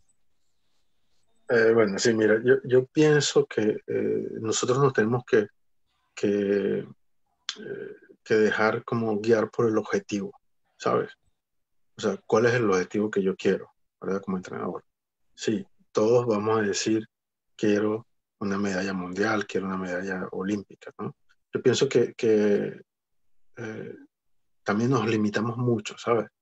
Nos limitamos porque por lo menos en el tenis de mesa, me imagino yo, que todos piensen, concha, le ganarle a esos chinos, eso es imposible, ¿sabes? Entonces ahí ya me estoy limitando. ¿eh? Yo me preguntaría, ¿por qué no le puedo ganar a los chinos? O sea, no es que nadie le ha ganado a los chinos. Entonces, si, si me pongo a ver, yo no sé mucho de tenis de mesa, pero sí sé que los suecos en un momento eran muy duros y le ganaron a los chinos, creo. Los, los alemanes ahora son duros, ¿sabes? Entonces, eh, ¿por qué no ser como eso? Pues ok, quizás no voy a ser excelente como los chinos, no, no las voy a ganar todas, masculino, femenino, no sé, paralímpico y todo, pero bueno, voy a ganar una, ¿me entiendes? Que sea, no sé, el doble, no sé, cualquier cosa, pues, ¿no? Pero, pero es, no limitarse, uno, y, y que el objetivo sea claro y que vaya a paso a paso. O sea, siempre pensando en el objetivo, porque yo pienso que el problema es que cuando nos distraemos del foco del objetivo es donde viene el problema. Y te decía lo de la plata, es por eso, porque, o sea, yo me distraigo en el dinero, ¿sabes? Y por supuesto que voy a pensar en el dinero. Entonces, al yo pensar cómo hacer dinero o cómo tener dinero, más dinero, estoy dejando de pensar en mi objetivo de cómo hacer o cómo lograr un oro olímpico mundial. Entonces, este, que, que, como decimos en Venezuela, que no se me quite el sueño por lo que pase, yo sigo soñando y sigo buscando ese objetivo. Porque pienso yo que, que cuando estoy enfocado en eso, voy a ir a eso. Y por supuesto que todas mis funciones, todo, todo mi cerebro va a estar en función de ese objetivo y, y seguro que va a buscar salida a todas estas adversidades a todas estas adversidades, porque eh, yo particularmente he pasado por muchísimos, o sea, muchísimas, inimaginables, pues para hacer, no sé, unas 20 charlas, pues, contarles todo, todo, todas las cosas que me han pasado. Pero aquí estoy, aquí sigo, ¿sabes? Porque pienso en los objetivos, no en que la federación es mala, o que no me da dinero, que no me da recursos, que me tiene rabia, que no, no, no. Sí, me puedo molestar, pero el objetivo, eso no me lo tumba. Sigo pensando en que yo tengo que, ok, ya, sí, ok, listo, bueno, se me olvidó la federación, sigo para acá adelante porque es lo que quiero. Entonces, es luchar por eso, ¿no? Pero voy con otra cosa. ¿Qué pasa? A veces yo digo, sí, quiero ser campeón olímpico, pero no hago nada para ser campeón olímpico. Entonces soy flojo, ¿eh? Eh, no busco los muchachos, no, es que no viene nadie, aquí no, no tengo nadie, o sea, eh, uno tiene que trabajar mucho, aquí hay que trabajar muchísimo, hay que matarse por estas cosas y, y ustedes verán que van a tener éxito. Porque es bonito decir, sí, yo quiero ser campeón olímpico, todos queremos ser campeón olímpico, pero el problema es ir el paso a paso, ¿sabes? Ir el paso a paso hacia, hacia ese objetivo. Y cuando ustedes vayan así, seguro que lo van a lograr. Una, Chicho, bueno, interesante todo, la historia, yo más o menos la, la, manejo por las conversaciones que hemos tenido, todo ese trabajo que se hizo para Londres, donde José Velázquez eh, en su momento ayudó. Pero una, una consulta, tú con tu experiencia y con los logros y el sistema que has creado, eh, yo quisiera preguntar, en cada etapa, porque tú trabajaste desde la primera hasta llegar al oro, olímpico, y te decía en, en, privado que no, no todo el mundo ha logrado eso, ¿no? Eh, llevar un, un atleta desde cero a ser campeón olímpico, que realmente pasa por manos de muchos entrenadores. Y eh, Rubén no ha pasado en eso porque te ha tenido todo el tiempo a ti, igual que, que todo el sistema que ha creado. ¿En qué etapa eh, de, de, esta preparación, ya con la modernidad que existe y por supuesto con una visión más amplia de, de años de trabajo, que, que, también te preguntaría cuántos años duró todo eso, ¿no? Porque eh, no es un proceso de un día, sino progresivo. En cada etapa ¿qué, científico del deporte tú incluirías? Estamos hablando desde el desarrollo, especialización, rendimiento y alto rendimiento. Eh, bueno, yo les digo a ustedes, yo, yo soy muy creyente de Platón, ¿no? Ahorita hay muchísimas teorías de planificación, eh, el ATR, o sea, hay muchas cosas nuevas supuestamente, pero para mí es lo mismo. Es lo mismo más aguadito, vamos a decirlo así. Sea, yo planifico exactamente y, fiel a lo que me enseñaron. Eh, me parece que es una planificación eh, muy amplia, muy buena, eh, simplemente adaptarla, pues, ¿no? Yo pienso que, que lo importante es ir quemando las etapas poco a poco, ¿no? En este caso, eh, yo considero, me imagino que en el tenis de mesa, no se me va a atrever aquí a, a, decir algo que no, lo sé, pero me imagino que es así. Eh, cuando se empieza con los niños, el entrenamiento es muy específico, ¿no? Es muy específico. Y la teoría del deporte te dice que no puede ser específico. O sea, que eh, si vamos al caso del porcentaje, debe ser de específico en el año un 30-35% de lo que voy a planificar. Entonces, si tú lo llevas a cada mes, eso es nada, Que el muchacho prácticamente, si es tenis de mesa, no se va a encontrar con jugar o cosas técnicas, pues enseñarle cosas técnicas, sino la, que, la, base de la preparación en la parte física, ¿verdad? Eh, ¿Por qué? Porque cuando yo le vaya a exigir eh, en el alto rendimiento, le tengo que exigir parte física, él va a estar preparado. Porque ¿qué pasa? Si yo no lo preparo abajo, en esa etapa, él se me va a tener muchas lecciones arriba, porque no me va a aguantar los entrenamientos. Entonces se va a leccionar muchísimo. Lo otro que sí es específico, que creo que pasa en Venezuela con casi todos los deportes, que son unos fenómenos hasta cadetes, ¿verdad? A nivel mundial, infantiles, en cadetes, ganamos todas las que, todas las que si, si ves eh, mundiales o olimpiadas de, de, 10 años, nosotros las ganáramos todas. Pero eh, la teoría te dice también que uno se van a aburrir. ¿eh? Hay un momento en que se saturan, entonces los muchachos se retiran porque nadie sabe, no, no quiero seguir en esto y ya, chao. Y de repente era tremendo talento o con una buena perspectiva y se me retiró porque, bueno, ya lo cansé de chiquitico por decir tenis tenis tenis y cosas técnicas y técnicas y entonces ya se saturó, pues entonces tiene que ir como de menos a más en la parte específica del deporte, ¿no? Entonces, bueno, todas estas cosas yo las he respetado, o sea, yo las he respetado en mi trabajo como, como planificador deportivo y, siempre lo hago así, pues, y me, y me, voy por toda esta estructura. Yo me acuerdo que una vez unos cubanos que están en Venezuela, eh, yo les enseñé mi, me, me, preguntaron, o sea, mi planificación, y yo en ese momento yo hice una planificación de cuatro ciclos, ¿no? De cuatro ciclos.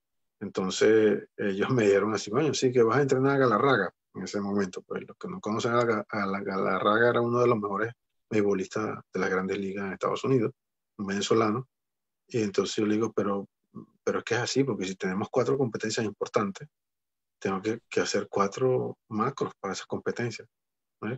Pero, y siempre basándome en los Juegos Olímpicos. Entonces, eh, por poner un ejemplo, ahora, en estos momentos, ¿verdad? No hay Juegos Olímpicos. No tenemos Juegos Olímpicos, está la pandemia, no sé qué. Pero los Juegos Olímpicos para nosotros terminaron el lunes en la planificación que yo tenía, o sea, la grima, ya el lunes yo tenía que estar aquí en mi casa eh, regresando de, Tokio, ¿no? Entonces, bueno, yo hice la planificación hasta el lunes. Los muchachos ahora están de vacaciones.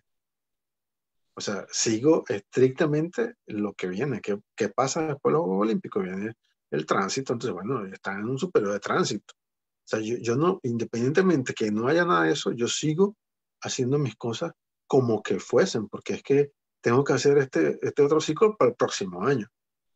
Y después, bueno, para tres años, ya no son cuatro. Entonces, es, es como, uh, cómo se va llevando este proceso con esta teoría, ¿sabes? Porque no importa cuál sea, yo uso la de Platón, bueno, hay muchísimos teóricos del deporte que, que y ahorita más modernos que, que podemos usarlos, pues.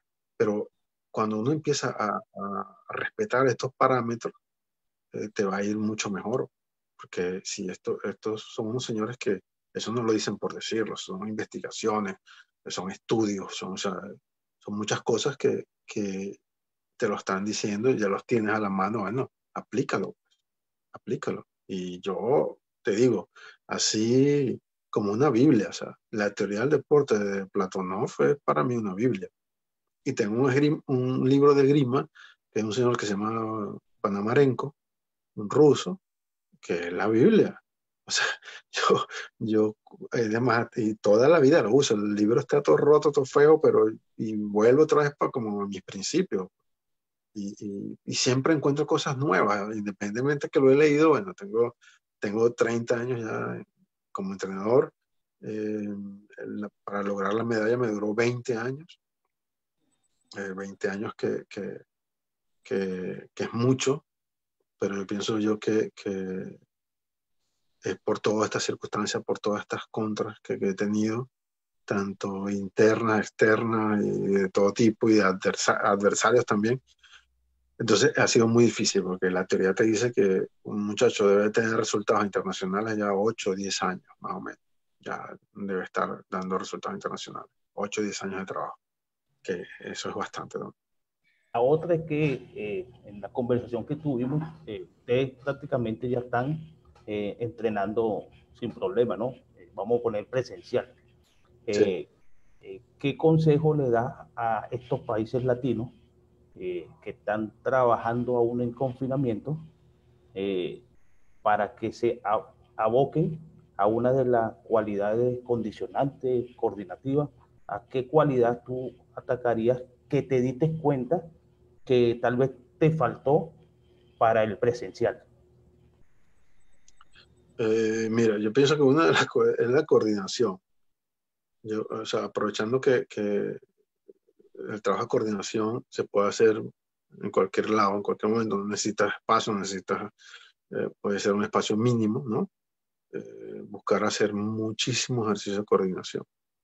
Pienso yo que, que esto nos va a ayudar muchísimo porque en el deporte pienso yo que es importante, la, gente no le para mucho, pero sobre todo cuando se está aprendiendo, eh, estos golpes, estos movimientos eh, son de coordinación eh, exagerado. Pues, ¿no? Y yo pienso que en el deporte de ustedes también, el tenis de mesa, eh, todos estos movimientos que pues, se pueden hacer con la mano y el brazo y la pierna y la cabeza y el hombro y todo, o sea, todo es mucha coordinación. Entonces, como ahora, ahora mm, eh, no hay competiciones, no hay cosas de estas, eh, no sé, yo le sugeriría que trabajaran mucho la coordinación y mucho la parte técnica. O sea, no sé, yo lo llamo hacer kata, ¿sabes? Como en ¿no? Como quizás aquí no tengo mesa, no tengo nada, pero eh, hacer los movimientos técnicos y quizás ustedes con las cámaras y con los pueden corregir y ellos esto. Y lo otro es visualizaciones.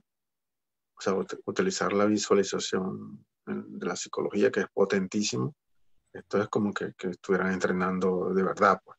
Si lo hacen bien y aprenden bien, este, van, a, van, van a hacer muchas cosas. Pues. Eh, otra cuestión que me, que me pasó y que quiero compartir con ustedes es sobre, o sea, nosotros estuvimos confinados como un mes más o menos, ¿no? Después ellos empezaron a abrir la cosa, yo conseguí un salvoconducto y íbamos a, a, entrenar solamente como por horarios, con, individualmente. Y, y bueno, me di cuenta que a pesar de que ellos eh, hacían físico, porque donde viven, bueno, son varios grupos, pero eh, los edificios, algunos edificios acá tienen eh, las escaleras internas que no se comunican con los, con los apartamentos. Entonces tú puedes correr, brincar y saltar por esas escaleras y nadie te va a escuchar, ¿sabes? Porque están como separados, ¿no? Están como en el centro de, del edificio. Entonces, bueno, la mayoría de los muchachos, dos grupos, vivían en un apartamento así y hacían muchos ejercicios de escalera físico, hacían muchísimo físico, ¿no? Y en la casa también hacían mucho físico. Pero eso es un físico irreal, ¿sabes? Entonces, cuando llego a la sala me doy cuenta que, que, que prácticamente no tienen preparación física. Que tienen. Entonces, eh, les recomiendo a ustedes que vayan con muchísimo cuidado, o sea, que, que esta preparación cuando empiecen a entrenar, así como antes, eh, que no se les vaya a pasar la mano y vayan eh, poco a poco. Más o menos yo les recomiendo que se lean muchas cosas sobre, sobre um, la planificación post eh, trauma, post operación, ¿verdad? Cómo, cómo, se entrenan, cómo se va entrenando la, la gente después de todas estas cosas. Y pienso yo que fue lo que yo más encontré, más adaptado a, a, a esto, pues, post pandemia, ¿no? Esto es como que también tuviesen parados o tuviesen una lección y después de la lección cómo voy a entrenar. Sobre las lecciones hay muchísima teoría, hay muchísima información en internet que pueden buscar eh, cómo entrenar después de una operación, sobre todo, que es lo más difícil. ¿no? Y, y por último, de mi parte, Chicho, eh, ya para, para entrar también, primero que nos cuente un poco todo el escenario ya en los Juegos Olímpicos, ¿no?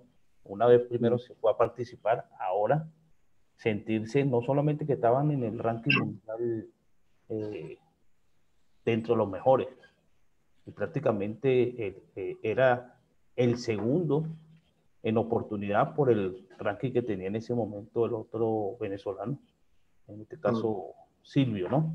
Sí, sí mi pregunta va, tú tienes eh, maestría en, en psicología. Mm. ¿En, ¿En, qué momento eh, tú recomendarías la utilización específica eh, de la psicología dentro de ese proceso de entrenamiento?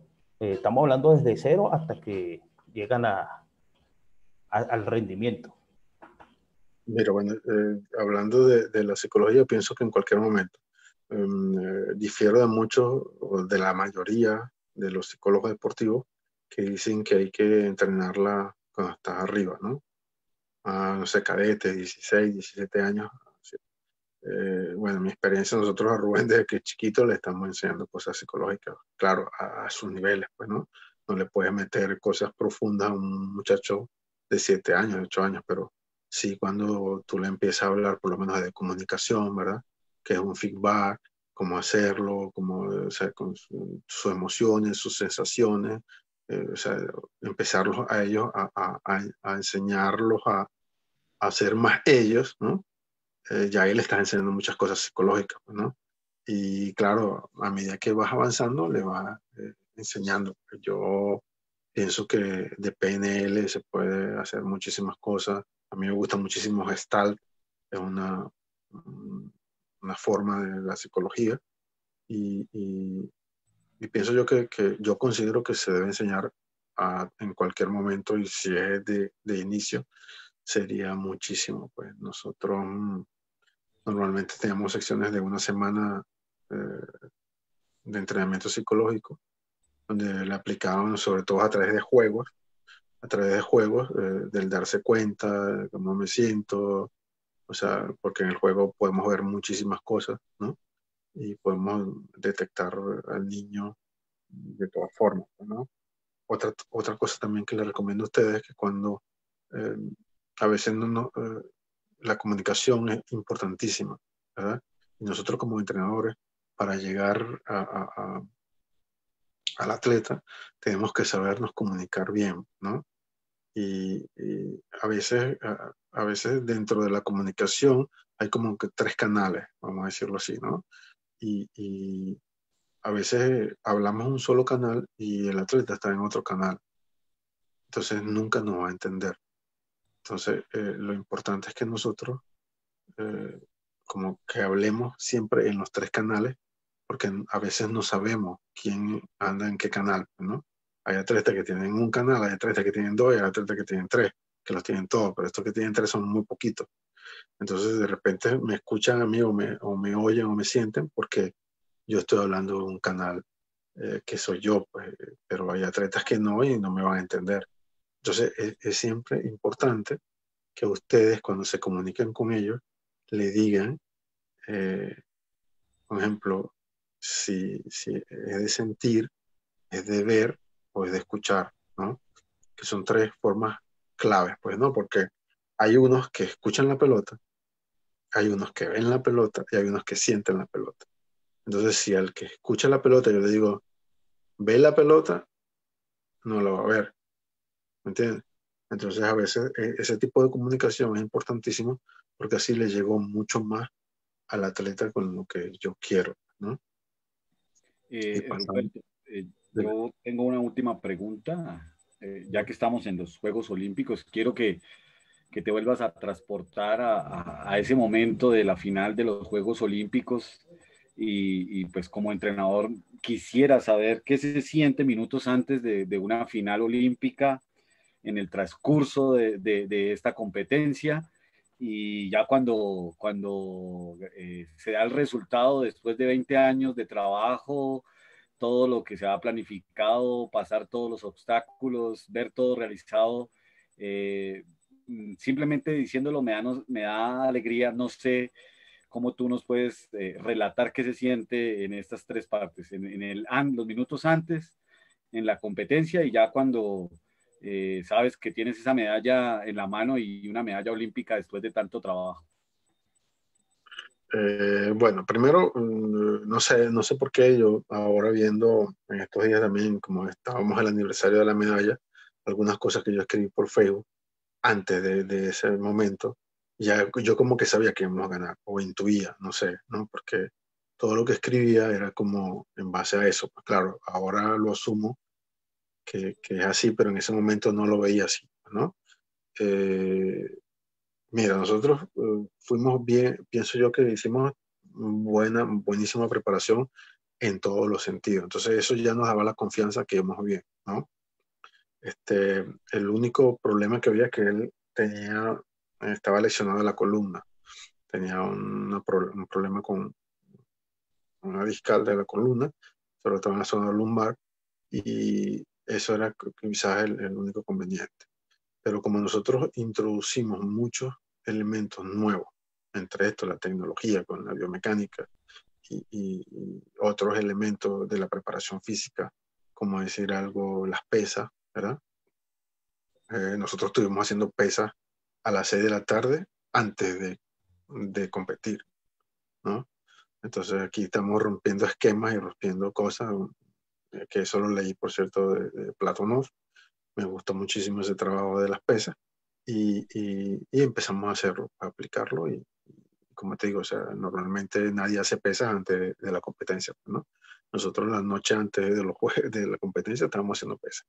Entonces, eh, cuando llega la, la, bueno, por supuesto que, que el nerviosismo, todo esto, buscar tapar que él no se dé cuenta que, que, que estoy nervioso, ¿no? Eh, darle las mejores indicaciones. Y después yo pienso, el primer asalto quizás fue por la incertidumbre, que no sabíamos cómo era, si no ibas a, a salir bien la estrategia, este, ya ahí como que bajó un poquito la presión, pues. No sé cómo es el tenis de mesa, pero en la esgrima es todo el día, o sea, empezó como a las 8 de la mañana y terminó como a las 9 de la noche, ¿no? Entonces, en todo ese proceso que, eh, de un asalto al otro, que eran unas cuantas horas, es todo, todo diferente. Además, eh, ya yo tenía la experiencia de, Pekín, ¿verdad? Porque aquí es una competencia totalmente diferente a todas, totalmente diferente. No sé cómo es el tenis de mesa, pero aquí el escenario te lo cambian por completo. O sea, eh, llega un momento para que tengan o sea, alguna idea, llega un momento que previo al asalto tú estás con él como media hora, ¿sabes? Entonces, bueno, llega un momento que ¿qué puedes hacer con él? O sea, yo voy a ir con él solo los dos, más nadie, no, no va a entrar a más nadie. Entonces, bueno, no le da, pero llega un momento que, bueno, ya no tienes nada que hablar. Pero quizás la experiencia de, de Pekín me, me llevó a, a, a, saber todo lo que era esto. Pero en Pekín yo llegué hasta cierta instancia.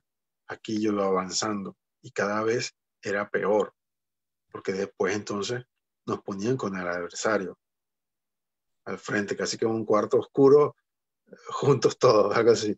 O sea, unas cosas muy pequeñas eh, que hacemos, que hablamos, nos vemos, nos reímos, o sea, mucho nerviosismo, muchas cosas.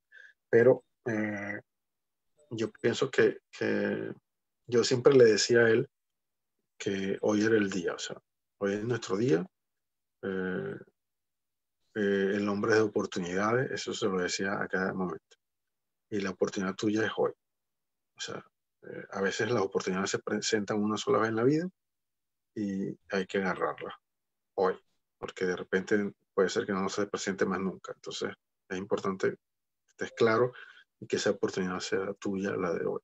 Y él estaba también muy concentrado, ¿sabes? Él estaba, este es un atleta que él, cuando tú, cuando estás concentrado, cuando él está muy concentrado, tú le estás hablando y él como que no te está parando, ¿sabes? Eh, tú le hablas y es como, si tú lo ves de afuera, es como que, que yo estuviera hablando solo. ¿Sabes? No se está parando, pero en ese momento es cuando está más concentrado, cuando más me escucha, ¿no? Y, y entonces, claro, ya yo sé cuando está en ese momento y, y sé con la parte psicológica cómo le voy a meter cosas, por decir, en la cabeza este, psicológicas para, para despertarlo, alentarlo más, pues, ¿no? A, a, todo esto. Por supuesto que había muchísimo nervio, eh, mío sobre todo. Eh, pasó cuando él le toca con el campeón mundial, de, o sea, el campeón mundial de, de ese momento, que era un italiano, Pablo Piso. Eh, él empezó el asalto ganando los 6 a 3, ¿no? Y, y después el, el italiano se le fue le hizo seis toques. No, no recuerdo, eso como seis diferencias de seis, ¿no? Se le fue arriba, ¿no? Entonces llegó un momento que yo estaba muy asustado porque, bueno, este campeón mundial eh, le sacó muchos toques. Entonces viene el tiempo de descanso, y yo voy y le digo, ah, ¿qué pasó? Entonces él me dice así, no, quédate tranquilo, yo tengo todo dominado yo lo tengo dominado. Claro, el, el italiano le hizo seis toques seguidos. y cuando él me dice, no, yo tengo todo dominado, yo dije, no, este, este como que está peor que yo. Entonces, lo único que en ese momento se me ocurrió fue callarme la boca. No dije nada. No le dije nada. Yo, ok, bueno, si, si estás controlado, está bien, muy bien. Entonces, bueno, si ya tienes todo, ya sabes cómo hacer, hazlo, más nada. Pero yo, eh, para hablar, si iba a hablar, iba a, a titirear, o sea, como cuando tenemos frío, ¿no? Pero era de lo asustado que estaba. Entonces no quería hablar para que no se diera cuenta que estaba asustado. Y, y bueno, y fue así, pues. Él resolvió el problema y le ganó a ese italiano. Y, y, y te digo, o sea, es muy chistoso porque yo no sabía qué decirle, o sea, estaba más asustado que él. Y cuando él me dice con esa seguridad, yo, te, yo sé todo lo que va a hacer, quédate tranquilo, no me digas nada. A, pesar de que el otro venía, o sea, le, le, está dando palo, este, ya ahí ya me dijo, bueno, este muchacho está, está listo, ¿no? Después vino el asalto con, ese fue el asalto por pasar a semifinal, ¿no? El asalto por pasar a la final fue con un gringo que le había ganado en los Juegos Panamericanos y era un gringo muy difícil. Con el gringo nosotros estábamos como 50-50. Y, y, fue quizás uno de los asaltos más emocionantes y, y, fue muerte súbita, pues como decían fútbol en los penales, ¿no? El asalto. Y él decidió en, en el último toque, él me dijo, eh, yo le voy a hacer esto porque él va a esperar con esto, o sea, es muy intuitivo, ¿no? Y así fue, se lo hizo y le hizo el toque y, y, le ganamos al gringo. Ya al ganar al gringo ya tenemos medalla, ¿no? Ya sabemos que tenemos mínimo plata, pero no nos vamos a conformar con eso, pues. Y después cuando yo escucho las entrevistas del post Olimpiada, me doy cuenta que él, los periodistas, él ya le decía, yo vine a buscar este oro, yo lo voy a ganar. Así, o sea, ya él estaba como convencido también de que iba a ganar eso, ¿no? Y y cuando pasamos a la final, nosotros fuimos los primeros que pasamos a la final. Cuando pasamos a la final, este, yo le digo, vamos a ver el asalto de, del coreano con el noruego. Entonces, ok, vamos a ver, nos podemos ver el asalto. Entonces yo le digo, ¿a quién tú quieres en la final? ¿Cuál tú prefieres? Entonces él me dice, no, yo prefiero el noruego, porque ese noruego yo le da a tabla. Y entonces yo le digo, no, yo prefiero el, el, el coreano, porque el coreano me parece que se te hace más fácil. O sea, se adapta más a tu, a tu estilo, yo pienso que le va a ganar más fácil. Entonces me dice, no, hombre, tío, tú eres loco. Ese coreano es durísimo. yo prefiero el noruego. Entonces, bueno, eh, ganó el noruego y el noruego es polaco. Sea, un polaco que se fue niño a Noruega y, y, y, entonces cuando se regresa empieza a hablar con nosotros en polaco, pucha, no sé qué. Entonces él le dice a Rubén, bueno, vamos a disfrutar esto, chicos, ya estamos en la final, vamos a, o sea, ya tenemos medalla, vamos a disfrutar como, como unos niños, le dice el noruego a Rubén. En lo que el noruego se va a Rubén me dice, ya te piensa que yo soy pendejo. Y me disculpan la palabra. Yo le voy a ganar ese noruego. Dice, ya, iba, ya, de hecho le ganó muy bien, pues. Eh, muy holgado, después se, se apuró ahí, se, se, se, apresuró un poco, quizás el desespero por, por ganar, pero gracias a Dios todos los puntos que llevaba de ventaja eh, le dieron el chance, pues, ¿no? Y, y bueno, la emoción es, es, inimaginable, es como un estado de cero, ¿sabes? Porque mm, es como que, no sé, como que no te pasó, como que no, es un sueño, no sé, o sea, algo es muy raro, o sea, es un, una, una, sensación bastante rara, a pesar de que, bueno, yo pegué muchos gritos y la emoción y todo esto, pero... pero ¿Perdón? Bueno, eh, eh, eh, es exactamente como un estado de cero. O sea, no sabes lo que, lo que pasa. O sea, pasó y como que es increíble. Y, y, y, bueno, después a disfrutar, a, hacerlo, yo quizá empecé a, a, sentirlo al mediodía del siguiente día, imagínate tú. O sea, al mediodía del siguiente día yo pasé toda la noche viendo para el techo de, de la villa eh, no sé en qué estaba pensando, pero era como, como estado en choque, pues, en cero, totalmente.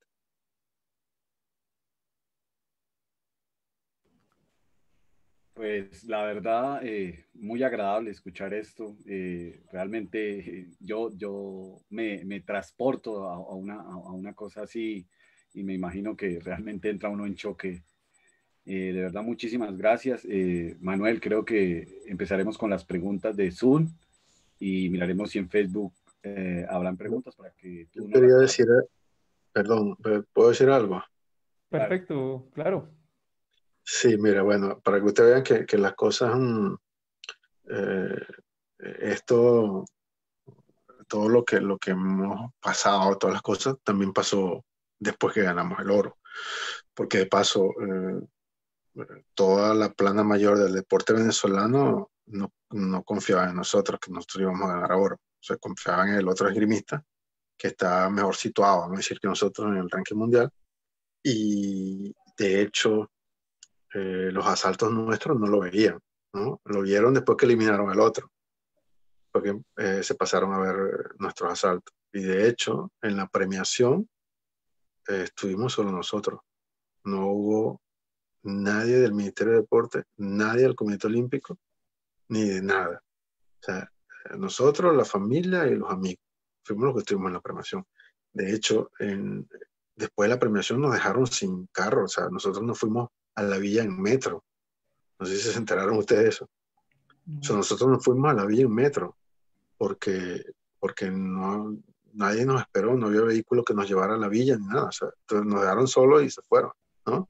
Es para que ustedes vean más o menos todo, todo, eh, todo lo que representa esa medalla para mucha gente. Y, es difícil, pues. Y, y después, eh, al otro día, eh, una otra esgrimista que clasificó también de nosotros a los Juegos Olímpicos, eh, estaba en, en, la villa caminando y con la chaqueta de Venezuela y se le acercó un señor colombiano, que en ese momento ya no sabía quién era, y le dijo, oye, felicitaciones por la medalla de ayer, pero esa señora no sabía quién era ella, pues, ¿no? Era alumna mía, era prima de, de Rubén, y le dijo, sí, pero muy malo por el Comité Olímpico de ustedes, que ayer en la reunión de, de los Comités Olímpicos dijo que cuando lo felicitamos por el oro, dijo, eh, sí, pero ese no era el que tenía que ganar. Eso tú. El presidente del Comité Olímpico Venezolano. O sea, se expresa de esa forma. Él, la única medalla de oro que hubo en esa, en esa Olimpiada, es la única medalla de oro de cualquier color que hubo en, en esa Olimpiada y, y, de esta forma se expresa. Y este señor después era el, el presidente del Comité Olímpico Colombiano. Después que averiguamos quién, quién era, pues este, yes. el que le y entonces lo de la medalla eh, del metro fue buenísimo porque, eh, bueno, ¿qué vamos a hacer? Vamos a salir de aquí como sea. Pues además eso quedaba una zona fuera de la villa, muy lejos. Y nos fuimos en metro. En metro, por supuesto que la gente se alborotó con la medalla de Rubén. Empezaron a, a fotos, no sé qué. Le quitaron la medalla. Alguien se la quitó. Y esa medalla rodó por todo ese metro y esa, yo dije, ay, se robaron la medalla. y esa llegó hasta el final de por allá al metro, no sé qué, después de por allá se hicieron fotos y fotos y fotos y devolvieron otra vez la medalla por el otro lado. Y entonces, claro, eso salió en la prensa el otro día, ¿no?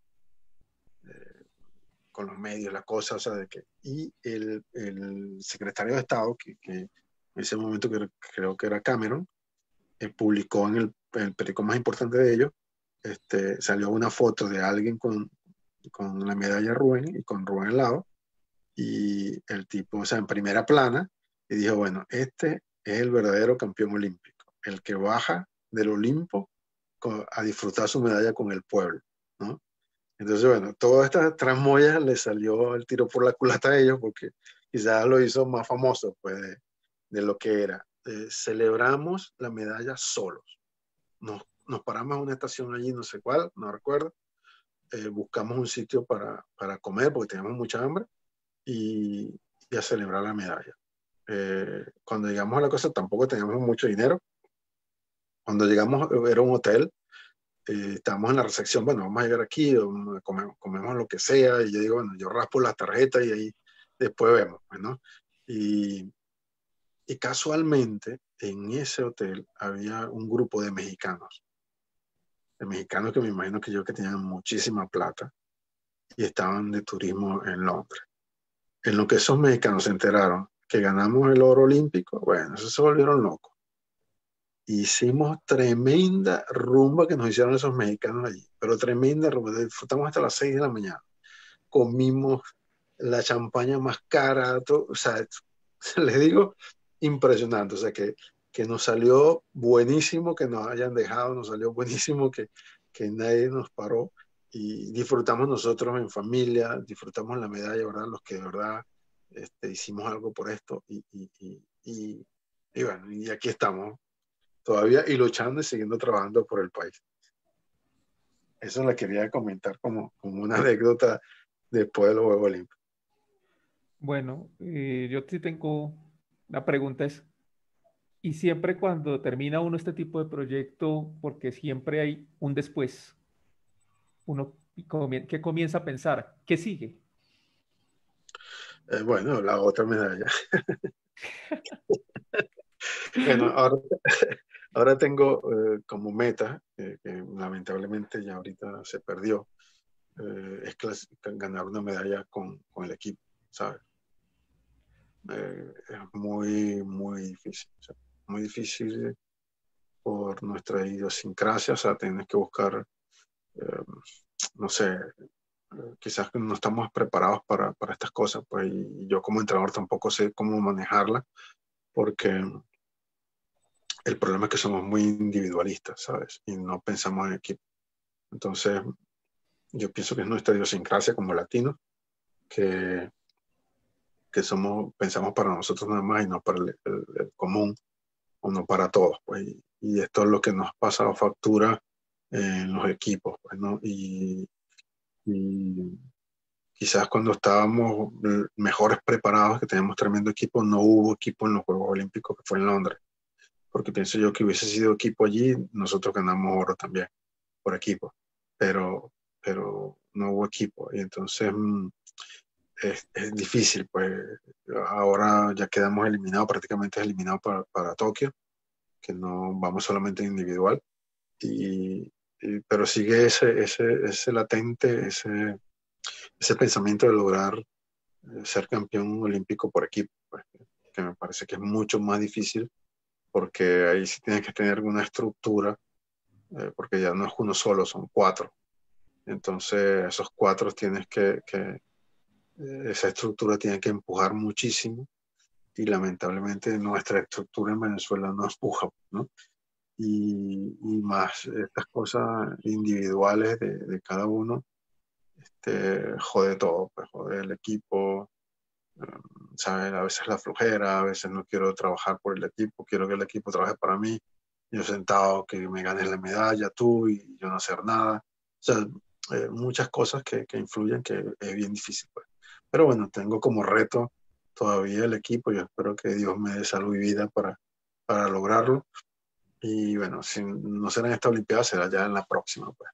Pero seguimos trabajando para eso. Perfecto. Tengo una pregunta del público acá en el Zoom.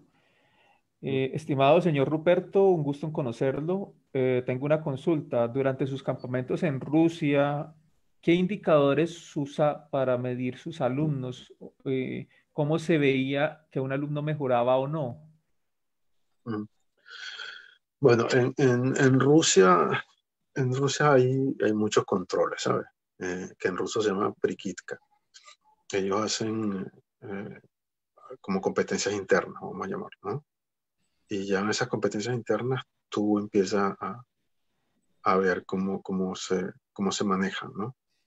Eh, en este caso, como los Juegos Olímpicos en aquel momento era individual solamente, eh, los rusos clasificaron a uno solo también, ¿no?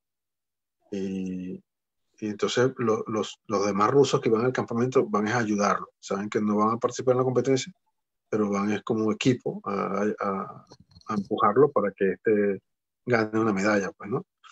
Entonces, no sé, son como 16 rusos que, que, te tiran allí, que todos tienen muy buen nivel, y entonces más o menos tú vas sacando por, por, por, por, por esas, esos topes que hacen esas competencias internas, como, como vas, como, o sea, si está bien.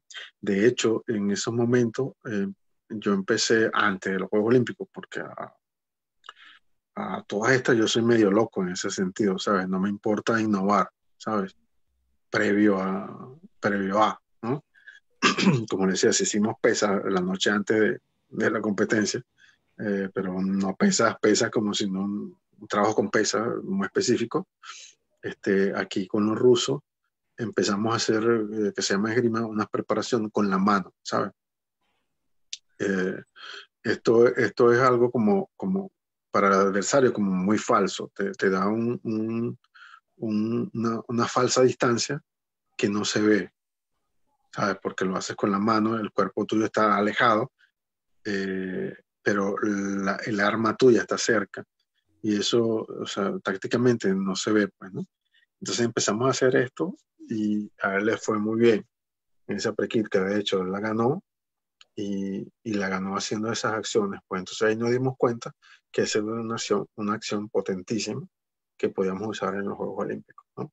Entonces ya ahí te, te va dando eso, ese mecanismo de, de, de, cómo vas viendo pues de acuerdo a, a los asaltos que hacen ellos. Perfecto.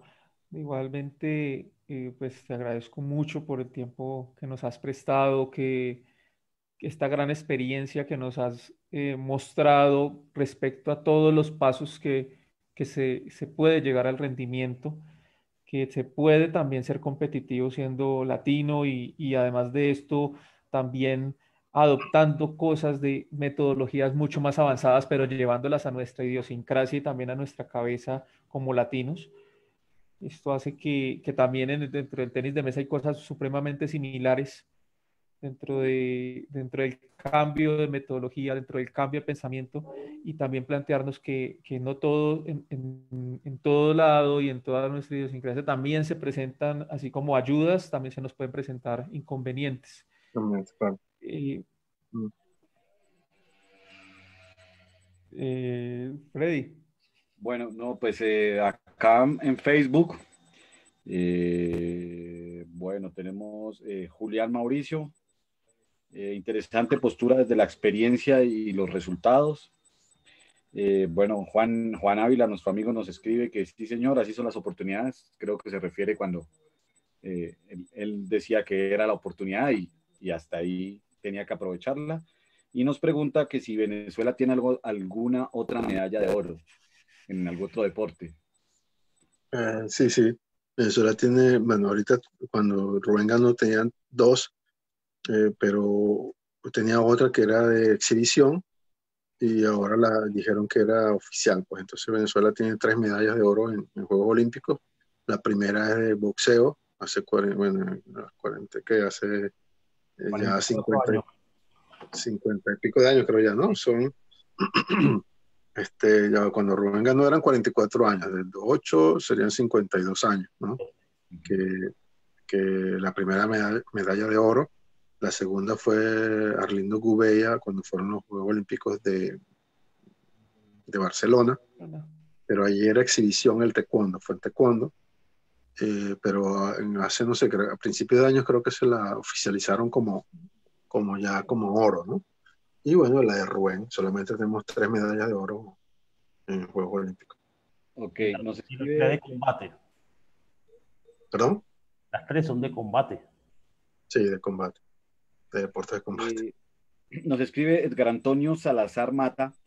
Mis más sinceras felicitaciones a los disertantes. Quiero preguntarle al profesor Ruperto si antes de los Juegos Olímpicos de Londres aplicaron estudios biomecánicos a Rubén quiénes lo hicieron y cuáles fueron las variables estudiadas más significativas. Gracias. Bueno, le, le, le voy a decir uno, uno de los secretos. Yo, yo espero que, que, no haya muchos esgrimistas por aquí. Pero eh, sí, sí, hicimos, como les dije anteriormente, hicimos un, un trabajo biomecánico para recuperar distancia. ¿Sabes qué pasa? eh, el pie de atrás, eh, los desplazamientos de esgrima, o sea, no sé, tienen un pie adelante, uno atrás más o menos. Y los pies están, están distanciados aproximadamente de, de pies y medio de, de, la persona, más o menos, no sé, unos 50 centímetros más o menos, ¿no? Están distanciados. Eh, nos dimos cuenta que eh, cuando se hace un ataque, cuando se avanza para atacar al adversario, para tocarlo, eh, el pie de atrás eh, mucha gente lo mueve como muy poco, ¿no? Lo mueve muy poco, o sea, muy cortico. El pie de adelante se mueve como más grande, el de atrás se mueve un, un poquito menos, vamos a decir. Entonces, ¿qué hicimos? El pie de atrás lo llevamos a que lo pegara del talón del otro pie, prácticamente, ¿no? Entonces, con ese estudio, eh, él eh, allí recuperó, como le dije, como 50 centímetros. Eh, si antes tenía, como decir la guardia, 50 centímetros más o menos, es la distancia que hay de un pie a otro, ¿verdad? Y, y ahora ese pie está a cero, esos 50 centímetros se, se, se, aprovechan, ¿no? Entonces, por supuesto que, que la, los ataques son más explosivos y, y, el adversario es difícil que lo, que lo detenga, ¿no? Pero era una cuestión de distancia, eh, fue un trabajo que empezamos a hacer tres años antes de los Juegos Olímpicos para, eh, para adaptarlo, porque hubo forma de adaptación, en principio no le gustaba mucho, pero después que lo convencimos a hacer esto, eh, hicimos esto. Y el otro estudio que le hicimos a todos los, los, los adversarios, un estudio biomecánico de, de, cómo, cuáles son los flancos más débiles, vamos a decir, y cuáles son los más fuertes. Eh, bueno, eh, aquí en Facebook no tenemos, bueno, solamente eh, el Club Esgrima Austral de Punta Arenas, gran maestro, siempre apoyando el deporte, un gran abrazo. Y pues en Facebook no tenemos más preguntas. De mi parte, muchísimas gracias. Realmente para mí muy enriquecedora esta charla. Muchas cosas que definitivamente eh, podemos ver en, en, tu experiencia y que, que, nos va a servir a, a, a todos. Y realmente, pues, eh, nada más que desearte muchos éxitos en tu siguiente medalla olímpica, que ojalá en el tiempo tengamos otra vez la visita en, en Table Tennis Technology Academy y pues que podamos hablar de, de, una nueva medalla olímpica. Entonces, de mi parte, mil gracias, eh, muchos éxitos y mm, ya los dejo con mis compañeros. Sí, yo tengo, eh, Freddy, gracias. Eh, Chicho, por supuesto que una trayectoria eh, con obstáculos, pero siempre saltándolo de frente, que es lo más importante eh, de todo esto que estamos conversando el día de hoy. Eh, de las variables eh, que preguntan, eh, en ese momento yo estaba de, de coordinador del laboratorio de biomecánica y, y ayudaba a, a, José, ¿no? Muchas de esas variables siempre me sentaba con José a discutirlas, eh, vía telefónico, conversaba con Chicho. Entonces, eh, ellos prácticamente me ayudaron a formar eh, casi todo lo que tengo yo hoy de, de, entrenamiento con su visión hacia el futuro, eh, sabiendo que, que, en este mundo uno tiene que ser planetario, ¿no? Cuando no, porque por ahí te dicen loco, pero yo le digo que yo soy el planetario. Este, y eh, muchas de esas variables eh, es lo que yo también dentro del tenis mesa trato de, de, llevar, porque como decía Chicho, si hay ya teorías, si hay resultados, tú lo que tienes que aplicarlo y después vendrán los cambios. Eh, en ese sentido, hay una pregunta aquí de Julián Mauricio Soto, que, que le pregunta directamente, desde su experiencia y conocimiento de diferentes modelos de entrenamiento latinoamericanos, ¿cuáles son los errores más comunes que tienen los entrenadores en las categorías infantiles? Yo sé que cada deporte tiene eh, diferentes edades. La categoría infantil de, de tenis de mesa es los cadetes. Okay, estamos hablando desde eh, 14, eh, 15, 14 y 15 años. Eh, ¿Qué nos dirías tú en esa pregunta, Chicho? Pero bueno, yo, pienso que lo, los errores, primero le voy a decir así, yo pienso que el deporte es igual a todo. O sea, eh, los mismos principios, la misma metodología, la misma planificación. Lo único que cambia es decir la forma, ¿no? Pero el fondo siempre es el mismo. Eh, los que yo les le recomendaría a ustedes como entrenadores, con, con, con jóvenes, o, o, gente nueva, vamos a decir así, o niños, es eh, trabajar en la parte física más. O sea, trabajan muchísimo en la parte física. Claro, adaptada a los niños, no es que van a trabajar, no sé, mucho y lo van a reventar, sino es una parte física acorde a, a, a, a la edad de, lo, de los muchachos, eh, que la parte que vayan de menos a más con la parte técnica. La parte técnica en principio muy poco. Básicamente, eh, no sé, aquí yo pensando así, vamos a decir, abuela pájaro, como decimos en Venezuela, yo eh, los pusiera a jugar, a, jugar tenis de mesa, sin, sin darle nada, o sea, sin decirle, mira, lo así, sí, que jueguen ahí, que pasen la pelota, porque eso lo, va a traer nuevamente a la, al gimnasio a, entrenar, ¿sabes? Porque ellos lo que quieren es como jugar, pero sin, sin, sin decirle nada. Y poco a poco ir llevando lo, lo, los movimientos técnicos correctamente como son. Pues. Eh, lo otro es la corrección. Pienso yo que esto es un error de la mayoría de los entrenadores latinos que no corregimos mucho los movimientos. Entonces, sí, eh, a veces eh, mucha gente me pregunta, yo pienso que tenemos que irnos a la teoría. Y bueno, ustedes como biomecánicos más todavía eh, tienen como el apoyo, pues vamos a decir, a los entrenadores mucho mejor.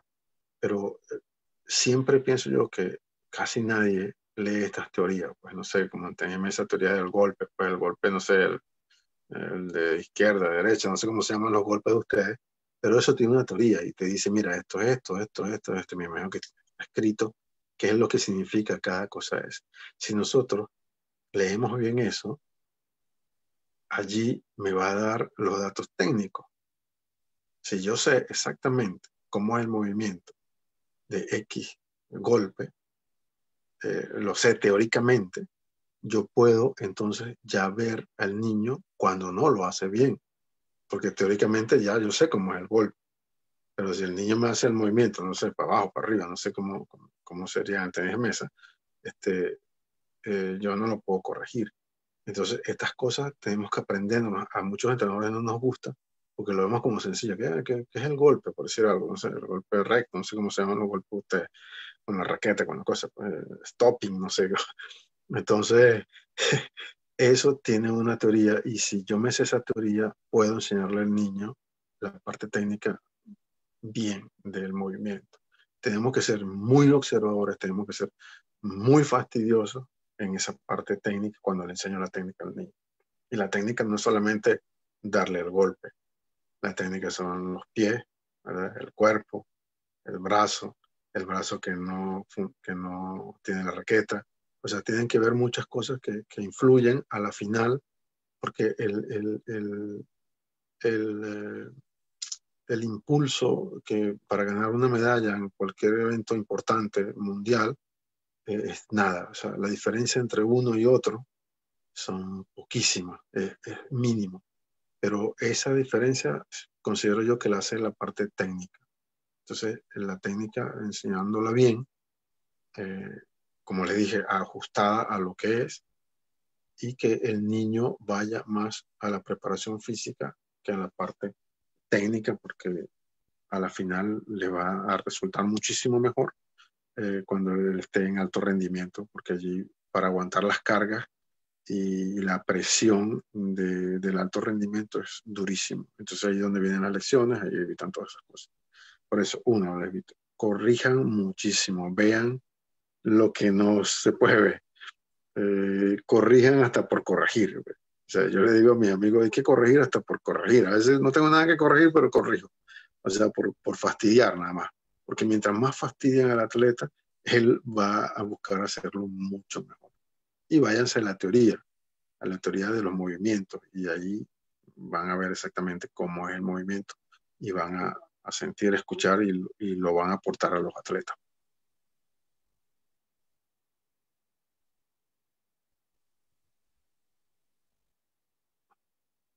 Eh, eh, Freddy, si hay alguna pregunta en el Facebook o Manuel, no sé si tienes otra cosa por, por agregar. Eh, bueno, tengo una última pregunta, con esa vamos a cerrar el día de hoy. Eh, la, hace, Juan Ávila y me dice que desde ese aspecto emocional, lo psicológico, ¿tuvo que descartar algún atleta para, para los proyectos olímpicos? No, no, para nada. Eh, aquí pienso yo que, más bien tienes que sumar, buscar a gente que te ayude. pienso yo que eh, si descartamos estamos, estamos fritos, pues pienso yo que más bien que tenemos que que entre todos ayudarnos, pues como le decía a los rusos, uno solo clasificó y había 16 más entrenando como que iban para las Olimpiadas y ninguno iba para las Olimpiadas. Entonces, pienso que aquí tenemos que no descartar, sino más bien unir, pues, y buscar la forma de que estos que, que, no estén o que no tengan el nivel ayuden, ¿no? Siempre. Y así eh, los que tienen menos nivel seguro que van a aumentar eh, el nivel pues, de toda esta cosa. Pienso yo que, que, que no sé, hay, que ser muy, muy innovador, ¿sabes? Tienen que ser, eh, tienen que buscar ustedes ser muy, em, buscar cosas nuevas que, que, le ayuden, cosas, cosas nuevas reales, pues, ¿no? Porque a veces podemos buscar cosas ilógicas como, bueno, voy a entrenar a la luna, ¿sabes? Pero cosas que sean aquí en la tierra, con los pies firmes y, y seguro que van a encontrar. Y si siempre estoy pensando en esto, seguro que voy a encontrar muchísimas vías para mejorar todo, todo, todas estas cosas. Freddy. Le, quería hacer una pregunta a ustedes. Disculpe, a ustedes como en el tenis de mecha, el, eh, ustedes hacen cambio de ritmo, ¿verdad? Sí. ¿Cómo, cómo hacen los cambios de ritmo? ¿Cómo es el cambio de ritmo en tenis de mesa? Generalmente eh, eh, se pasa de velocidad a cambio con rotaciones. Ya cuando tú le imprimes mucha rotación, la pelota disminuye por, por la misma eh, forma de ser física de la que es circular. Entonces, eh, un jugador cuando quiere cambiar el ritmo dentro del partido genera más rotación que, velocidad, que son inversamente proporcionales. Entonces tenemos muchos esquemas de, juego jugadores de velocidad, jugadores de rotación, jugadores más de precisión, pero la tendencia mundial es que los jugadores de velocidad son los que han dominado y por eso los chinos con su mecánica y su, su parte de velocidad eh, dominan el espacio desde hace 17 años que no queda campeón alguien que no sea chino en el, en el caso individual y equipo. Pero, pero ¿con qué hacen el cambio de ritmo? ¿Con, con, o sea, ¿qué es lo que le dice un entrenador al atleta para el cambio de ritmo?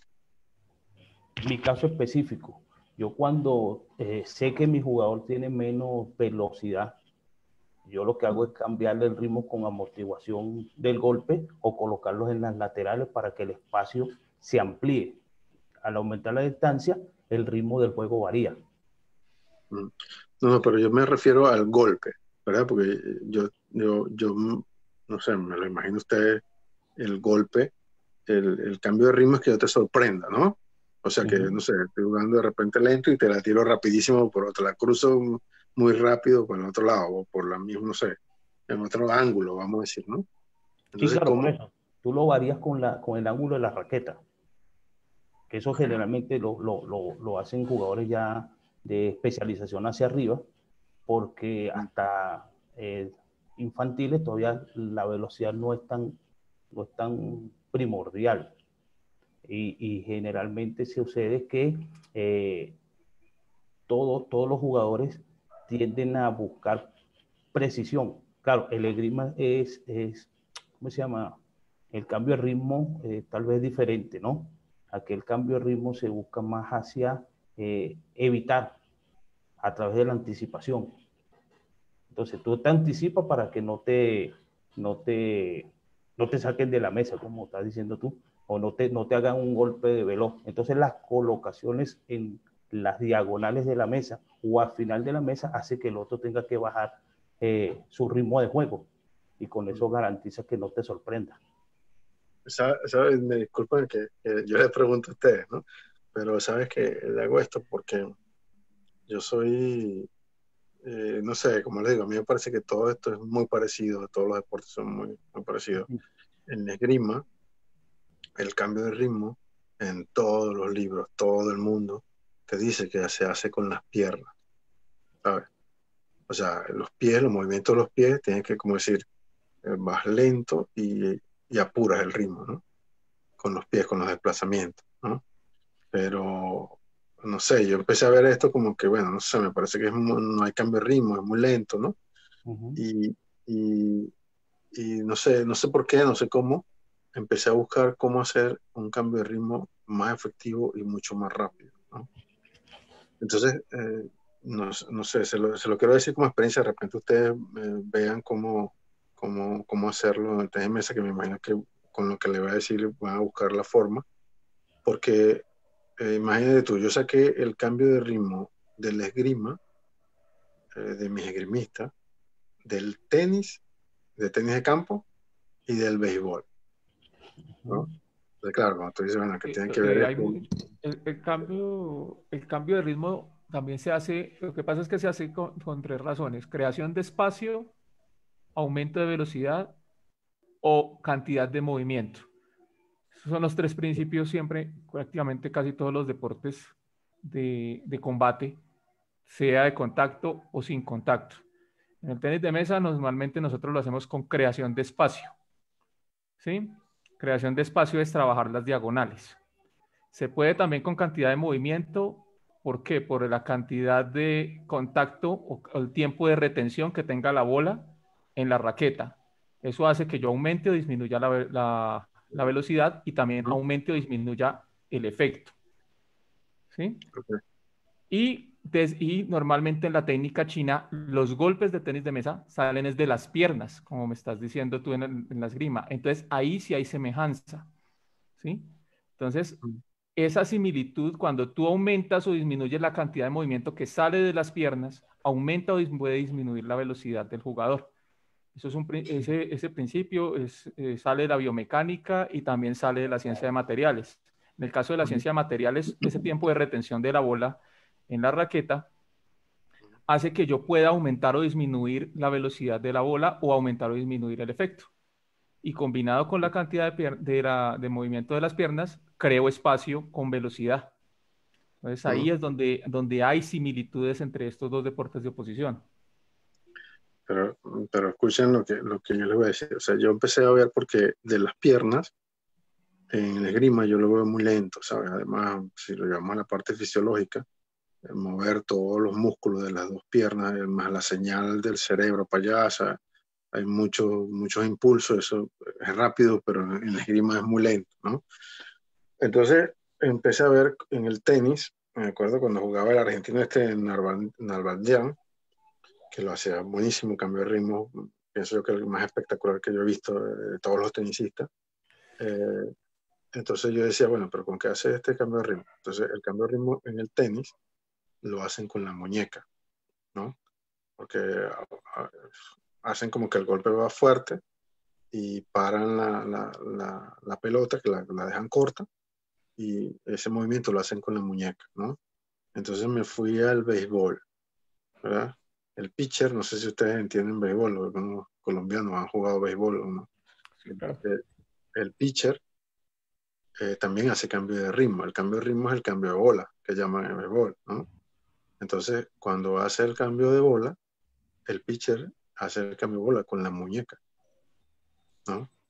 Para, o sea, para hacer movimiento, que por eso les hablaba de la, de la coordinación, movimientos muy difíciles, eh, coordinar un movimiento muy rápido y con la muñeca hacerlo lento. Entonces, él para eh, la bola con la muñeca es que hace el movimiento. Entonces, yo empecé a, a hacerlo en la grima, porque no, si el tenis es con la muñeca en el béisbol es con la muñeca, porque en la esgrima no puede ser con la muñeca. Y empecé a hacerlo con la muñeca. Y los efectos son impresionantes. Entonces después se ve las piernas. Pero, o sea, y al final el que no sabe puede ver el movimiento como que fue de pierna, ¿sabe? Pero el movimiento es de la muñeca. Entonces pienso yo que, no sé, les, dejo esa ahí a ustedes para que también me hagan los cambios de ritmo, eh, de repente busquen a, buscarle una similitud a todo esto, porque a mí me funcionó que, que nadie lo hace así en el mundo, nadie. Todos lo hacen con las piernas, porque dicen, entra lento y rápido, ¿sabes? Con las piernas. O sea, marcha lento, marcha rápido. Y, y con la mano, con la muñeca, a mí, sobre todo Juan Rubén lo hace muchísimo y es muy rápido porque lo hace con, con, con, la muñeca. Y la idea, como le digo, me vino fue del tenis y del béisbol. Por eso yo no sé, yo me imagino ustedes eh, también usan muchísimo la muñeca para, para hacer los golpes, para o, o, aguantar o, o, rechazar muy rápido. Y pienso yo que, que, que la muñeca trabaja muchísimo. Pues, Sí, eh, de hecho las muñecas trabajan muchísimo. De hecho, ese tiempo, creo que yo hablaba del tiempo de retención, eso se, dentro del principio biomecánico se efectúa con la muñeca. Y, ese, y ese es crear tensión en la raqueta, aumentar la tensión, disminuirla, hace que el tiempo del que dura la bola dentro de la raqueta aumente o disminuya. Y eso, y eso influye mucho en el juego. Es continuo. Sí, sí, claro. Sí, sí, Chicho, eso es, eso es. La ventaja que tiene el, el tenis de mesa o de ventaja es que el, lo que cubre, ah, lo que cubre la raqueta, eh, le cayó la, la conexión. Sí, lo que cubre la raqueta tiene fricción. Entonces, eh, tú puedes hacer eh, tanto con la muñeca y con algunos segmentos.